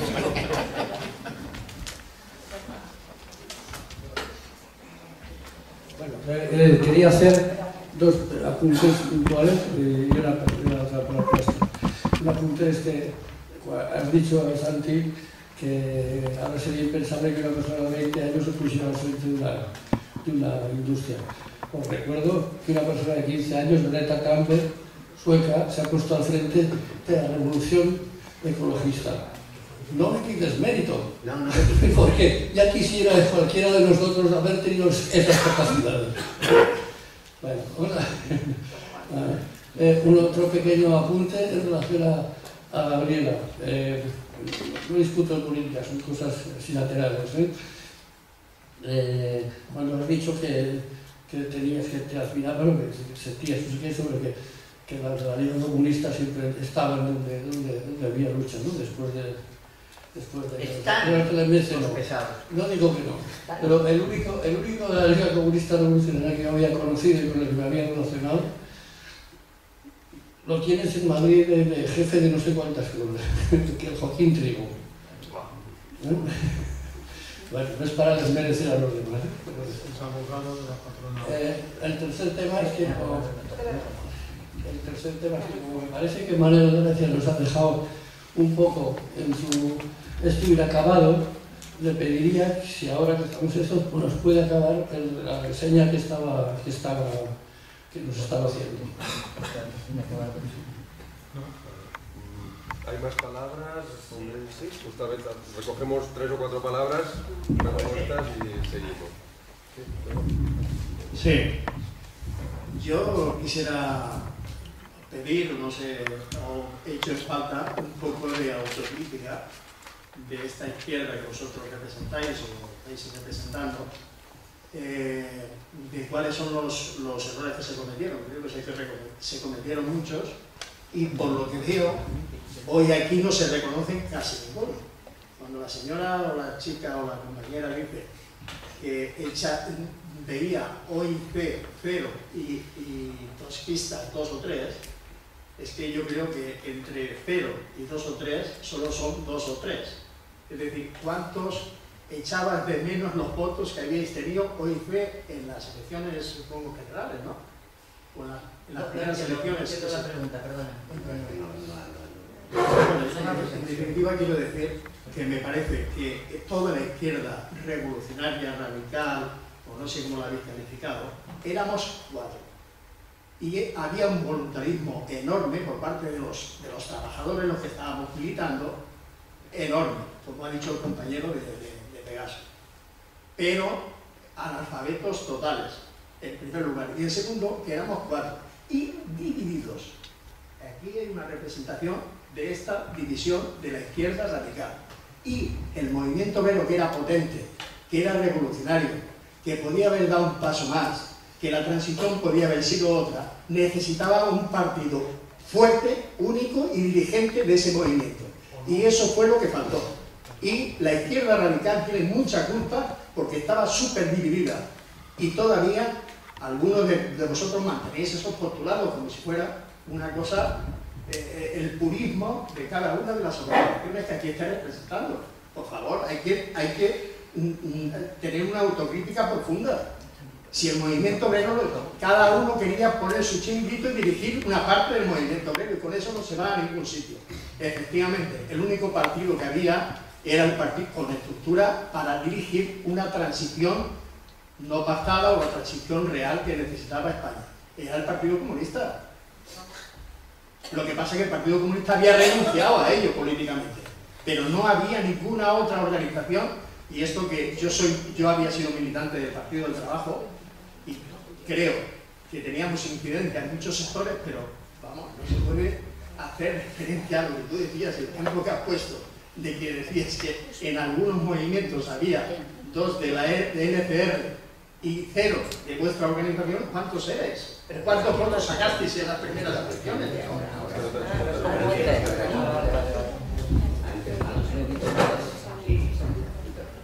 Bueno, empezó la guerra, ¿no? Eh, bueno, José Manuel Roca Vidal dice que eran un poco más de 4, 30.000, dice él en, en uno de los estudios pioneros sobre la izquierda radical. Eh, yo quería hacer una pregunta a Martí Causa sobre la experiencia de, proletario, que creo que es una experiencia sindical interesante y que se ha escrito poco, eh, que empezáis ya desde el Grupo Comunismo y no tengo mucha idea, entonces por eso te pregunto. Y a Manuel Gracia que haga un balance sobre eh, la dirección de Valverde en el PCI, porque mm, en la charla que has dicho es como que, bueno, estábamos como muy acelerados y nos calmamos un poco y purgamos el partido de, de todos estos elementos y tal, pero coño, Valverde fue el dirigente del partido, ¿no? Y aprovechaste cuando estuvo en la cárcel para, para que Eladio eh, encabezase el partido y luego también el tema de, de la disolución, de la autodisolución, que es que eso no deja de sorprender por mucho que lea, eh, porque después del, del escrito de, de Eladio sobre el partido radical y tal, eh, os disolvéis y, y el partido radical más fuerte se va al garete en- de la noche a la mañana. Y luego cortamos, hacemos como de respuesta porque ya, ya- ya hay bastante... Sí, me parece como interesante la reflexión de decir eh, qué hemos hecho mal, ¿no? Eh, pero lo voy a empezar diciendo pues, que, que yo he sentido que hemos hecho bien o que me ha servido, ¿no? No en cosas, en muchas, que había cantidad, sino sobre todo en una, que es importante. Eh, hay que seguir. O sea, esto no es que digamos a ganar hemos perdido y ya está, sino hay que seguir y de hecho mucha gente seguimos gracias a estos partidos de extrema izquierda que nos plantearon que había que seguir. Había que seguir y que en el 78 no se acababa y en el 82 no se acababa y había que seguir, ¿no? Y de hecho mucha gente hemos seguido y seguimos pensando que tenemos aquella, sé, aquella especie de antorcha del del movimiento revolucionario, seguimos pensando. El segundo tema es que a mí me parece que dentro de la autocrítica, mm, en el 78, o en el 82, o en el 85, se zanjó una cosa que tuvo cosas muy importantes, ¿no? que eh, teníamos que haber tenido más en cuenta. ¿Qué he hecho de menos yo? A mí me parece que la amnistía nos dimos muy tarde cuenta de que era una trampa, muy tarde. Yo estaba encantada de que saliesen mis amigas y mis amigos presos y la amnistía era un logro, y no era fue la amnistía de los militares y tal. El segundo elemento importante eh, fue que eh, se estaba preparando la situación para que siguiese el aparato represivo, el aparato del ejército, el aparato, no, no introduciéndose en el ejército, el aparato judicial, para seguir torturando a la gente, para seguir machacando, no solamente para eso, sino para utilizar este aparato, para que ahora vengamos las mujeres y vengan las migrantes y vengan los migrantes y se sigan sirviendo el poder de este aparato para seguir haciendo lo mismo que hicieron en la dictadura. Y esto yo siento, yo creo que lo decíamos, pero yo siento que no nos lo dijimos, diciendo, este es un elemento fundamental, junto a lo que ha planteado el compañero de Antera Roja del tema nacional, ¿no? diciendo, estos son los elementos súper claves de esta situación. Y respecto a la clase obrera, yo creo que tendríamos que volver a plantear seriamente mmm, cómo llegamos a la conclusión de que todo el mundo entra a comisiones obreras en general, digo, y entonces montamos diversas corrientes y entramos en un aparato sindical que igual lo tendríamos que volver a recuestionar de arriba abajo. Aparato sindical representativo, con ayudas de la patronal, con negociación con la patronal, de mayoritariamente, absolutamente de concertación y no de confrontación. Es decir, no haber sido ahí capaces, igual es muy difícil, de haber dicho ruptura y nos vamos a otro espacio.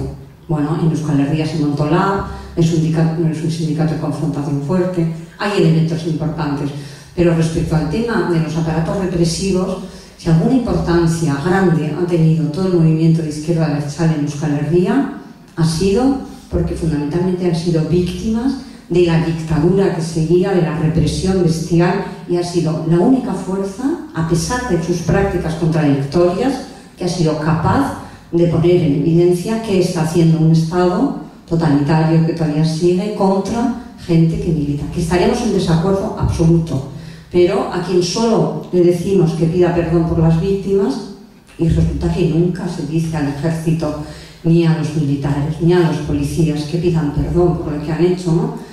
Entonces, yo sé que es muy difícil esta lectura. Yo vivo en Euskal Herria, tengo mis análisis, tengo mi militancia, pero hay una desigualdad terrible. Y esto eh, me parece que hace mella en uno de los elementos fundamentales de la dominación del Estado, que es el aparato represivo.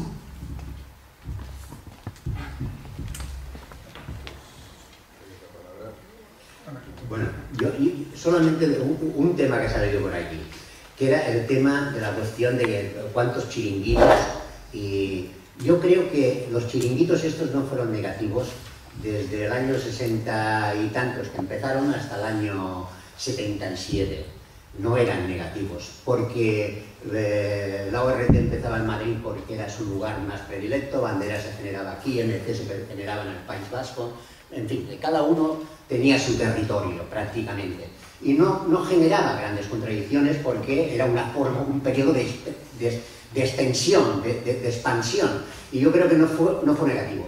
Para mí el problema fue cuando ya se entra en esa fase, después de la muerte del dictador, se entra en esa fase ¿no? de perspectiva democrática, ¿no? entre comillas, ¿no? y incapaz de dar esa alternativa que anteriormente planteaba. ¿no? Y el movimiento obrero queda destrozado prácticamente, pero hasta ese momento yo creo que el problema de los chiringuitos era un problema, pero no era un problema. Es a partir de los años 77-78 donde habría habido una mayor capacidad de entender y unificar ¿no? aquellos y encontrar una línea que nos hiciera avanzar, pero vaya, no proporciona. Quiero decir algo ligado a lo que dice Santi. Uh, vete a te pones así. ¿eh? Yo es que creo que deberíamos, cuando hablamos de chiringuitos, eh, deberíamos ubicarnos un momento en esos años. ¿eh? ¿Por qué una persona se adscribía a un partido político y no a otro? ¿Por qué tú fuiste a Bandera, tú a la LCR y yo a la OIC? Éramos luxemburguistas, pero de Rosa de Luxemburg habíamos leído mm, dos cosas. Éramos todos eh, marxistas, pero el capital conocíamos la tapa. Éramos eh, gramscianos y de Gramsci habíamos leído algo sobre los consejos obreros. Quiero decir que la ascripción a una fuerza política, en una gran parte en la época de la clandestinidad, venía de quién tenías al lado, quién te echaba un cable, quién te daba una argumentación y quién te animaba a decir que tu vida, tu libertad, tus derechos podían ser mejores. Y eso era así. Y lo que sí que podías contraponer era con las fuerzas que tenían mayor presencia. Y a este nivel el sub siempre era el malo de la película. ¿Por qué? Porque era grande, porque era el que era conocido, porque era el que tal cual. Pero seamos honestos con eso. La inscripción, en muchas ocasiones al inicio sobre todo, era por, por quien tenían más cercano, por quien hacía un discurso más coherente o porque luego íbamos profundizando en eso. Y eso fue lo que llevó después ya a partir del 70 y pico que las cosas pudieron empezar. Por ejemplo, una de las cosas buenas que tenía el MC era las escuelas de cuadros que hacía. ¿Por qué? Porque como mínimo te enterabas de por qué eras gramsciano y por qué, y por qué no lo eras, ¿me explico? Es decir, seamos realistas con eso, ¿no? Yo, por ejemplo, no, insisto, mm, yo creo que mm, cuando, cuando hablo de la restauración borbónica, la segunda restauración borbónica, he dicho claramente, no se toca ninguno de los poderes reales, no se toca ninguno. Pero hay una parte de la izquierda que legitima eso, que lo legitima. Y por tanto, una gran parte de la ciudadanía todavía hoy sigue diciendo que la Constitución se firmó con las pistolas encima de la mesa, cuando eso no es tan cierto. Cuando eso no es tan cierto. Por lo cual, eh, el tema nacional que tú decías, Fijaos, eh, Euskadi, gracias, gracias. Por culpa del tema de la represión, habéis podido tener un camino para la absoluta eh, devalorización del Estado y tal muy grande. Hoy en Cataluña, no entremos en si somos de uno o del otro, pero hoy en Cataluña estamos oyendo cosas que nosotros las habíamos dicho en el año 75, 76, 77 y 78.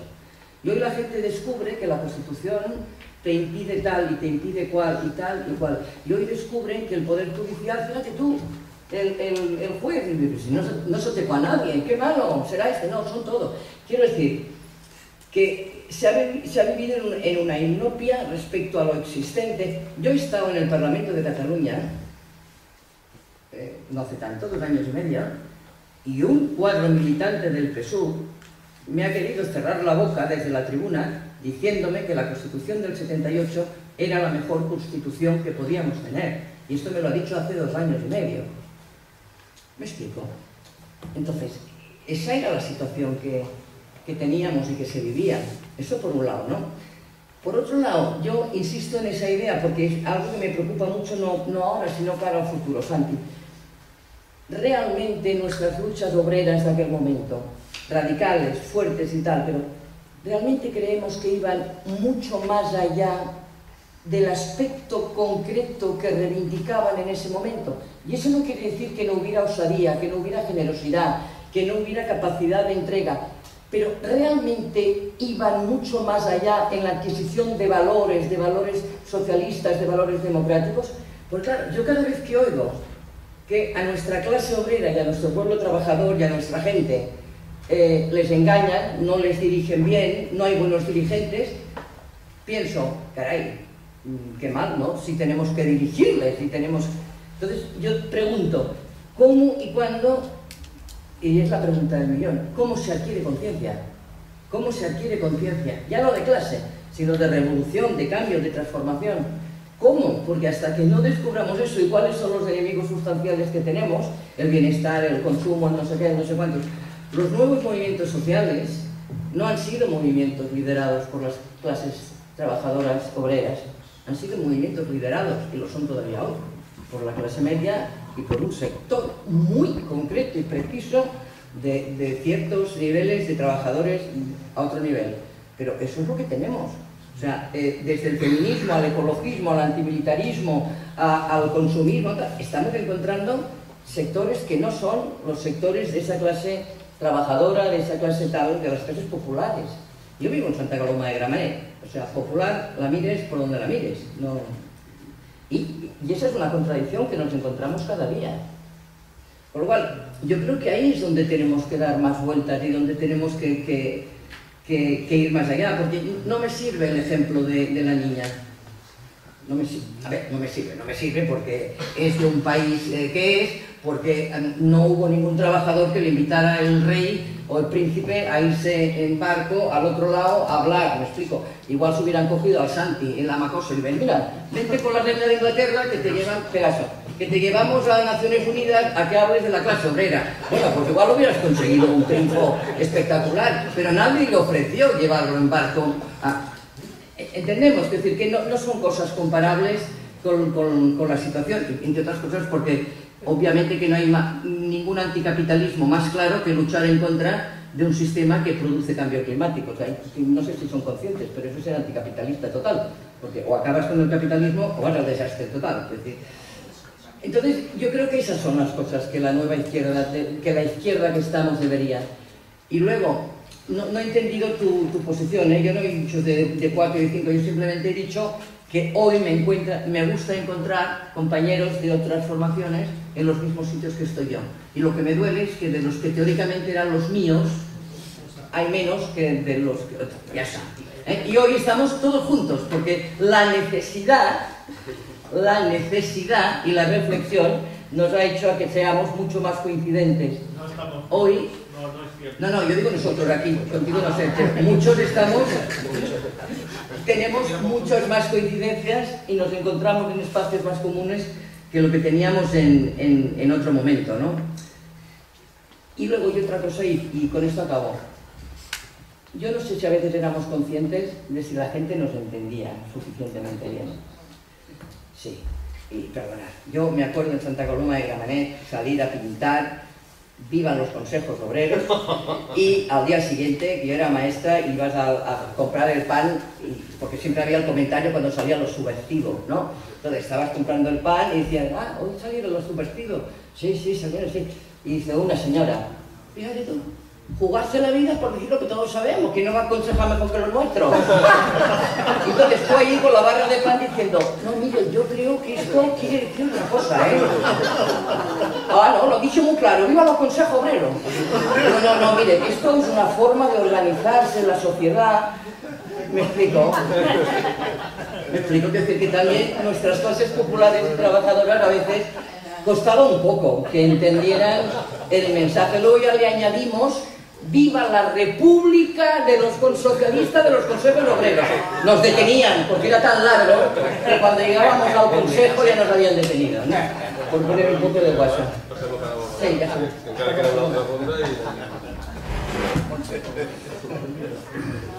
eh, nosotros, el Partido del Trabajo, la dirección del partido, en el año 75 nos planteamos que había llegado el momento de que Comisiones Obreras saliera a la superficie y constituir claramente un sindicato. Porque hacía falta la unidad sindical en España. Era necesario que nos uniéramos ya y teníamos que desbordarlo todo y llegamos a la necesidad de que había que hacer esto. ¿Y qué hicimos? Una reunión con la dirección del Partido Comunista. Yo estuve presente en aquella reunión. Estuvo por parte del Partido Comunista Sánchez Montero y otro más, que no recuerdo, y por parte nuestra estuvo Armenta y estuve yo. Les propusimos la situación, se había producido el golpe en Portugal en el 74, habían cambiado las cosas ya. Nosotros teníamos una fuerza considerable, correo lo controlábamos todos nosotros, hospitales, teníamos una fuerza muy importante dentro de comisiones obreras. Y decíamos, si el Partido Comunista y nosotros, y otros que se puedan añadir, declaramos en una asamblea y que nos detengan a todos si quieren, y empezamos a gestionar un congreso de unidad sindical a partir de lo que son comisiones soberanas en estos momentos, arrasamos, unimos a la clase obrera y nos llevamos esto para adelante. Este fue nuestro planteamiento a la dirección del Partido Comunista. Respuesta de Simón Sánchez Montero. Hemos pactado con los de arriba, con un sector de los de arriba, y nos han dicho que lo que pasó en Portugal no se puede volver a repetir en España. Aquí tiene que haber división sindical tenemos que dejar que tire para adelante la UGT. Y como tenemos que dejar que tire la, gente, la UGT para adelante, nosotros no podemos tirar de comisiones obreras todavía. Hay que frenar el desarrollo de comisiones obreras hacia un sindicato unitario, esperar porque la UGT tiene que tirar.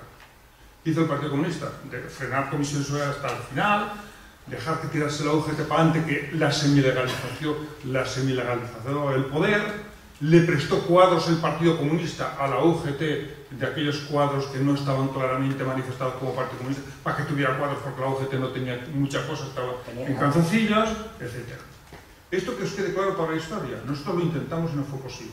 No fue posible porque había pactado el Partido Comunista esto y porque tenía en prenda que ellos controlaban el movimiento obrero. Porque la reforma política, entre otras cosas, no fue solo una reforma política el poder necesitaba una reforma económica vital, porque España estaba en una crisis terrible tras la guerra del 73 entre judíos y árabes, y el petróleo se había disparado por, todo lado, España estaba en crisis.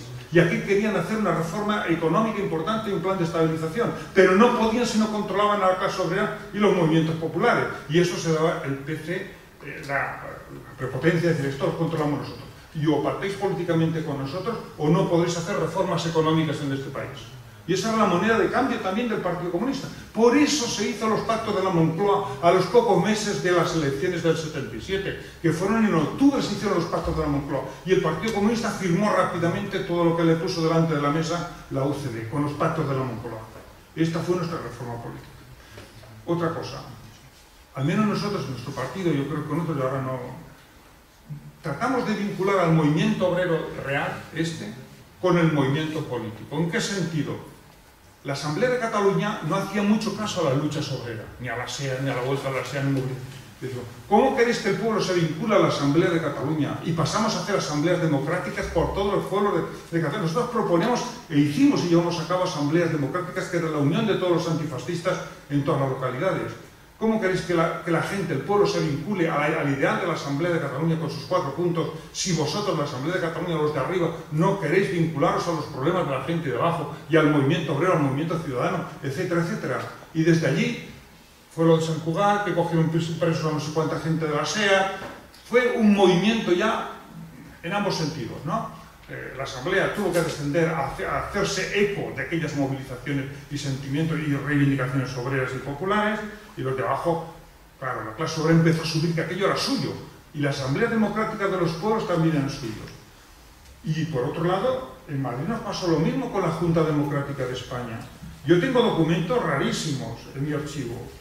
Por ejemplo, nosotros nos costó mucho entrar a la Junta Democrática de España.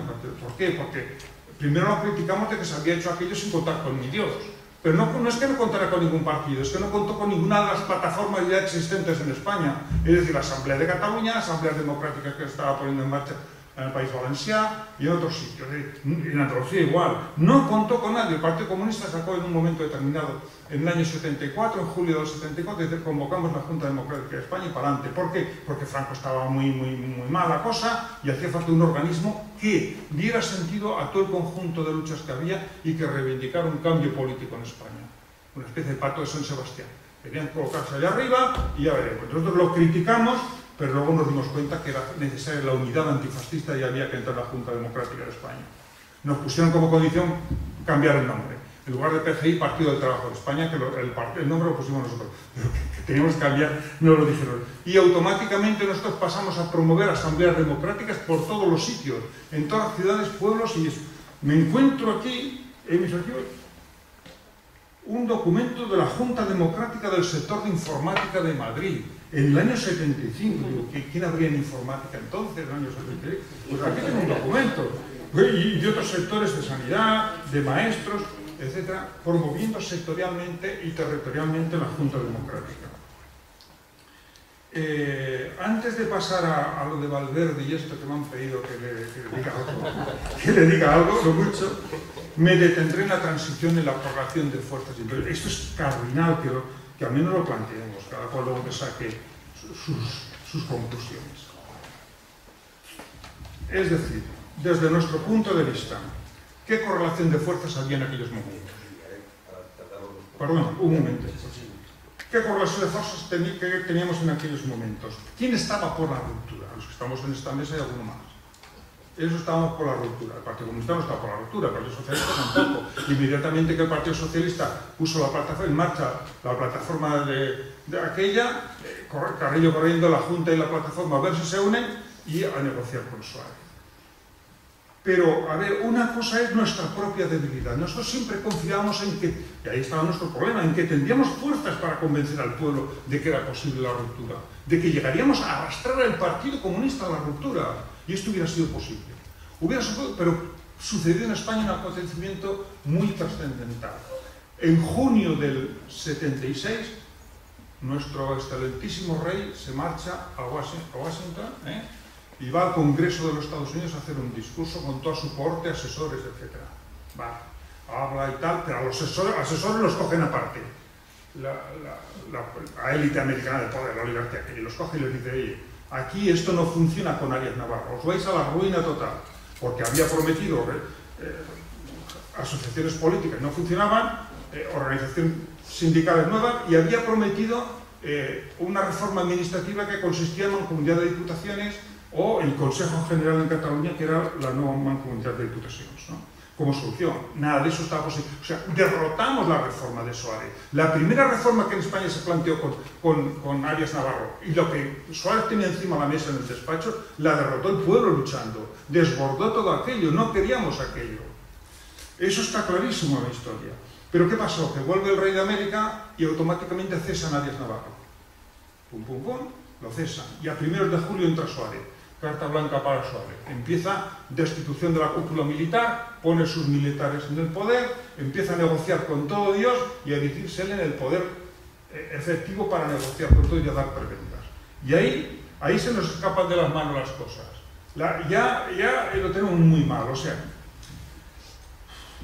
es decir, infravaloramos la capacidad de la oligarquía para reconvertirse, no sé cómo se puede infravalorar eso, ellos tienen sus capacidades, nosotros sobrevaloraron nuestra composición, nuestra fuerza para hacer que el proletariado y las clases populares tuvieran más conciencia de clase y lucharan hasta el final por una verdadera democracia. Y si la gente no quería querer más, es que no nos seguían para más, es que la gente no... Ya bastante que murieron por el camino y que lucharon, pero más no. Este que os decía antes de Gonzalo de, de, de Lebrija, me dice, estos jornales estos son una, una joya cabrones. Porque para las cuestiones sindicales, y las cuestiones de lucha y todo eso están conmigo y me siguen a todos lados. Pero luego vienen las elecciones y le votan a la UCD. A ver, aquí, en las generales, ha ganado la UCD en Lebrija. Hostia. Bueno, no, no quiero seguir para dejar espacio en este Sí, bueno. uh, yo soy de los que Ya hablaremos. Valverde famoso en la UCA. Ha suscitado notable interés sobre Valverde, pero sí. en la segunda vuelta, si tenemos tiempo, ¿vale? Martí acaba de... A ver si voy rápido. Eh, yo, como he hecho una introducción muy genérica, he dicho que nos teníamos que preguntar qué habíamos hecho mal y no he dicho nada, ¿no? ¿Eh? Vale. Entonces voy a recoger algo, algo que ha dicho Gabriela, estoy muy de acuerdo sobrevaloramos el nivel de conciencia en aquellos años. Y confundimos una cosa que era combatividad, que yo creo que había mucha, con conciencia. Y eso pasa muchas veces. Por ejemplo, yo creo que en el movimiento nacional catalán ahora ha habido mucha combatividad y mucha conciencia porque se creyeron que se pasaba de, de, lo que tenemos a la independencia, pues legalmente, ¿no? Sin más problemas. Bueno, pues eso, hicimos un error y estoy muy de acuerdo con eso. Un compañero me ha preguntado por proletario. Eh, proletario fue una cosa, la historia es, eh, estuvimos en el FOC, Manuel Gracia, Javier La Serra y yo, ¿no? Él estaba en la Pegaso. el FOC estalló en varios sitios. El primer sitio donde estalló fue un grupo que se llamó Comunismo. Ahí estaba el proletario, fue un montaje del grupo Comunismo, aunque las hojas, el nombre, pudieron seguir, ahora no sé seguro, con la LCD. Pero ¿qué idea había? Que las comisiones obreras eran reformistas y que los que querían una lucha fuerte y dura y tal, tenían que organizarse aparte y eran grupos proletarios que hacían sus hojas. Era gente combativa, gente radical, era un momento en que había más de estas cosas, comisiones obreras revolucionarias, etc. Yo creo que fue un error. Que fue un error. Que en aquellos años, estamos hablando, estamos hablando del año uh, 70, 69, 70, 71, 72, había que estar en comisiones obreras. Era la organización unitaria y allí dentro había que estar con otra gente. Nosotros dijimos esto en el 72, pero desde el momento de la ruptura del FOC del 69 a inicios del 72 hicimos esto y creo que fue un error grande, aunque era gente muy combativa. Y cuando lees las hojas dicen cosas que denotan mucho coraje. Uh, tercer uh, punto, uh, ha dicho Santi, la izquierda revolucionaria no nos enteramos del tema nacional. Bien, el Grupo Comunismo no se enteraba de esto. La primera DCR, es decir, en diciembre del 70, poco, aunque decía autodeterminación. Quien nos enseñó quién era la cosa, la autodeterminación y el tema nacional fue cuando nos fusionamos con Meta Sexta. Ellos nos explicaron eso. ¿no? Hay que reconocérselo. Lo aprendimos de ellos. Eso eh, pues fue, debe ser el año 72, eh, 73. ¿eh? Y entonces, yo creo que habíamos asimilado muy bien la autodeterminación, pero decidimos no estar en la Asamblea de Cataluña.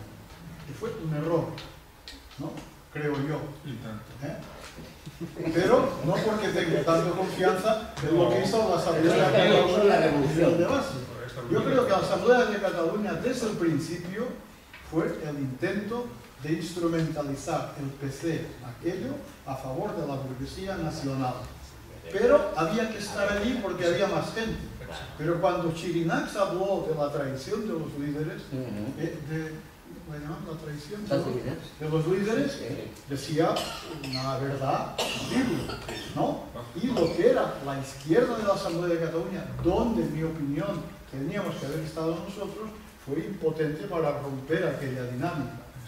Pero, eh, como teníamos clara la autodeterminación, cuando empezó el panipé de la Constitución, uh -huh. nosotros dijimos no a la Constitución, que me parece tan legítimo haber dicho no como abstención, pero no apoyarla, digamos, no porque no reconocía la autodeterminación. Uh -huh. Y estábamos a favor de Letamendia, que planteó esto y consiguió su solo voto en el Congreso. Uh -huh. Y cuando se quiso hacer el Estatuto de Cataluña, dijimos, ¿y por qué lo hacen cuatro señores, otra vez, señores, en, en un parador de Sao y no se hace un proceso participativo popular, algo que hoy es tan popular, aunque ya se les olvidó en parte que el Parlamento de Cataluña aprobó hacer un proceso constituyente cuyas conclusiones debían ser obligatorias para los diputados.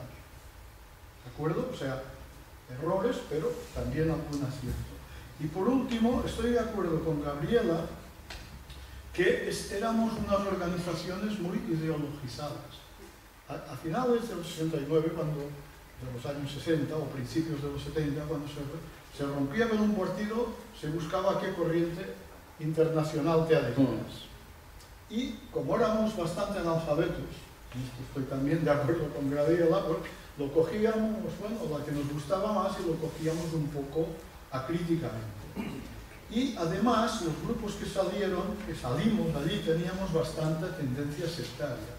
La única vez que los cuatro partidos de aquí estuvimos juntos es en este folleto que ha Regalo, traído regalo de- Manuel Gracias. En las elecciones de Cataluña que ganó por goleada Jordi Pujol, nos presentamos unidos los cuatro para ser derrotados los cuatro. Con 40.000 votos y ningún diputado. Pero ¿por qué hasta el año 80 no?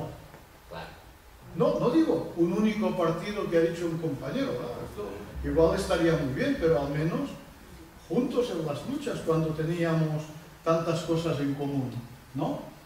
¿Por qué veíamos siempre en el de al lado el competidor? En el FUT, en las primeras elecciones, como no éramos legales, hicimos el Frente por la Unidad de los Trabajadores, con la OIC, con Acción Comunista, con el PUM y la LCR. Y salimos de las elecciones más enfadados que al entrar. Fue una tontería de la cual asumo mi culpa, ¿eh? O sea, no lo digo con orgullo, lo digo como, como una autocrítica, porque éramos organizaciones muy cercanas. Y me arrepiento de no haber hecho entonces una propuesta de decir, oye, ¿por qué además de la unidad electoral no discutimos de si podemos hacer más cosas? Porque cuando hicimos esta propuesta más tarde, que se la hicimos al MC cuando ya prácticamente en la izquierda revolucionaria que damos el MC y nosotros, creo que llegamos tarde. ¿No? Creo que llegamos tarde y lo que salió, que fue izquierda alternativa, duró dos años y fue un fracaso. Pero, pero aquí se llamó revolta. ¿no?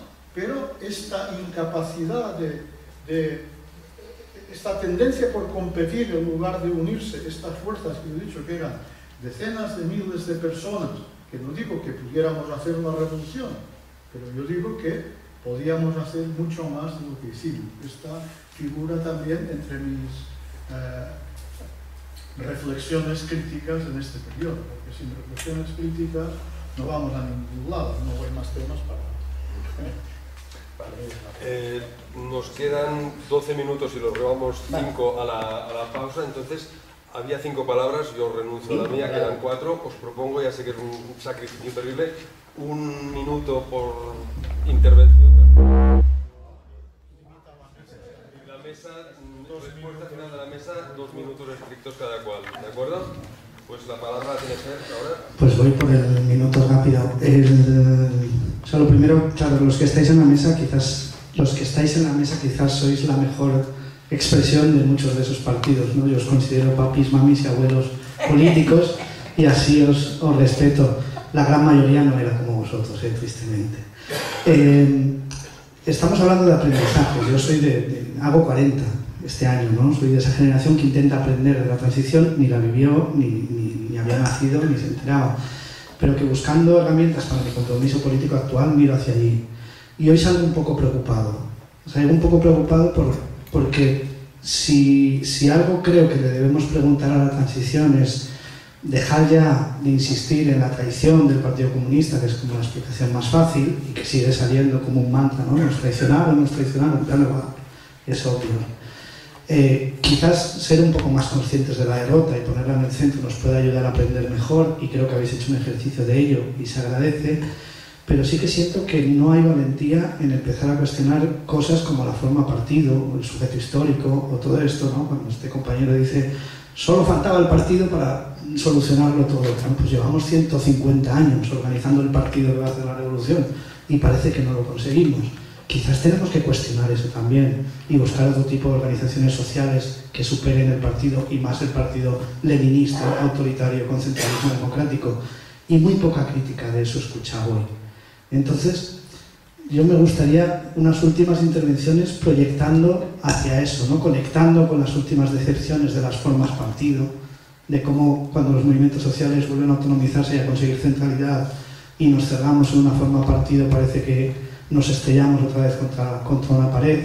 Y, y en ese diálogo de este intento de segunda transición o de cerrar la restauración borbónica que hemos tenido, pues la generación de los 40, 15M, etcétera, y cómo parece que íbamos repitiendo A, B, C, D, los mismos errores que, que la transición del 78.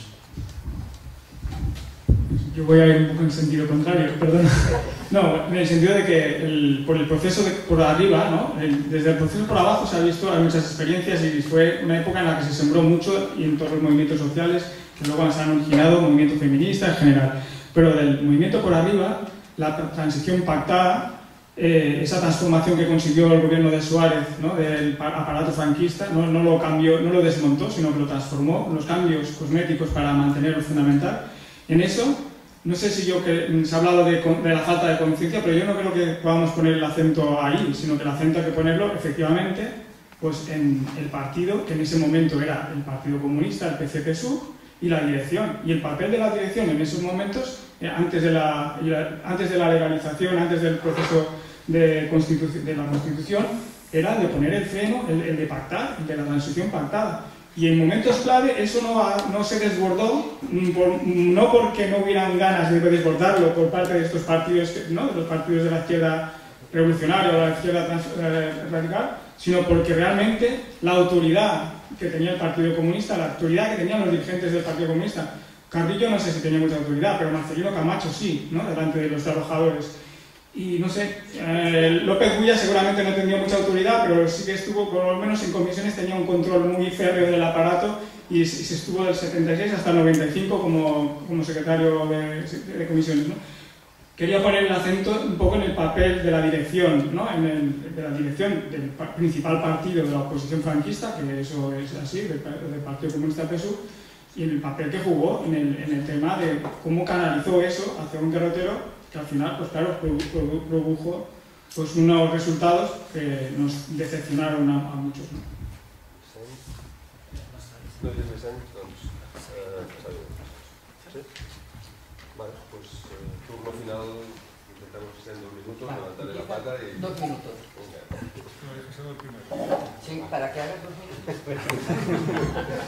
Mira, yo, para empezar, voy a leer un párrafo de un señor que fue profesor mío aquí en la universidad cuando hice, empecé a hacer el doctorado, no lo acabé, que se llama Josep Fontana.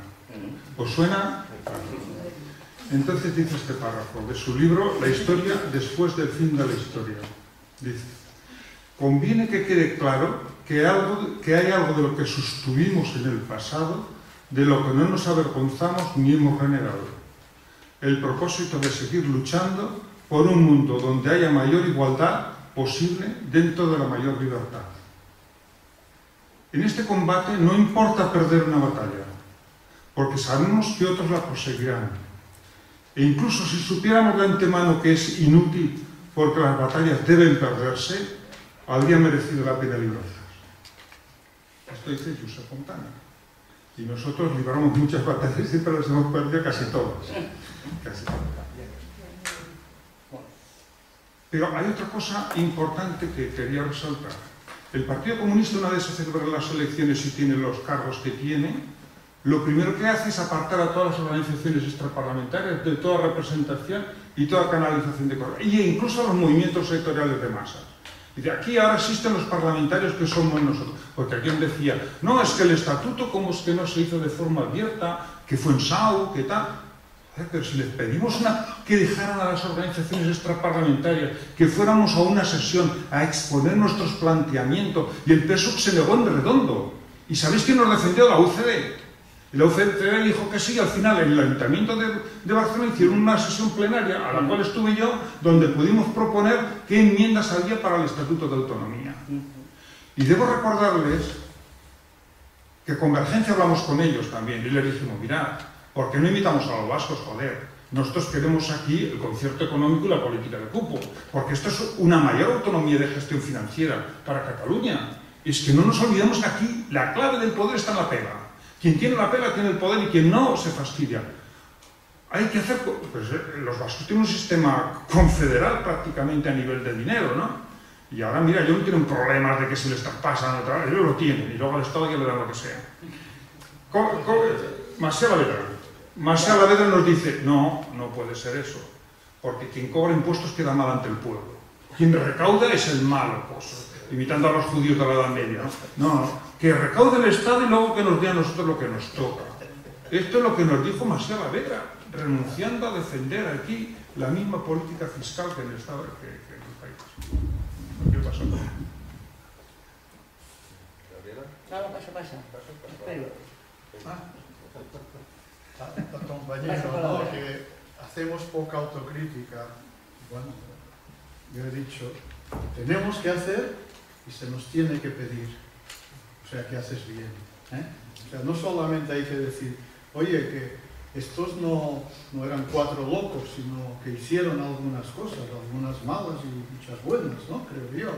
Sino que también, bueno, ¿y qué parte de culpa? Yo no es la culpa fundamental, pero ¿qué parte de culpa tenéis? Eso lo tenemos que hacer, no hay tiempo para todos, son muchos años, ¿no? Y hay que hacer preguntas como las que haces tú, a las que no, no voy a, a saber responder. El sujeto histórico es un debate complicado, ¿no? Podemos estar de acuerdo que esto de que es la clase obrera y punto, esto hace muchos años que pasó a la historia, ¿verdad? ¿Sí? Que, que ver qué articulación con diversos movimientos que han surgido y tal.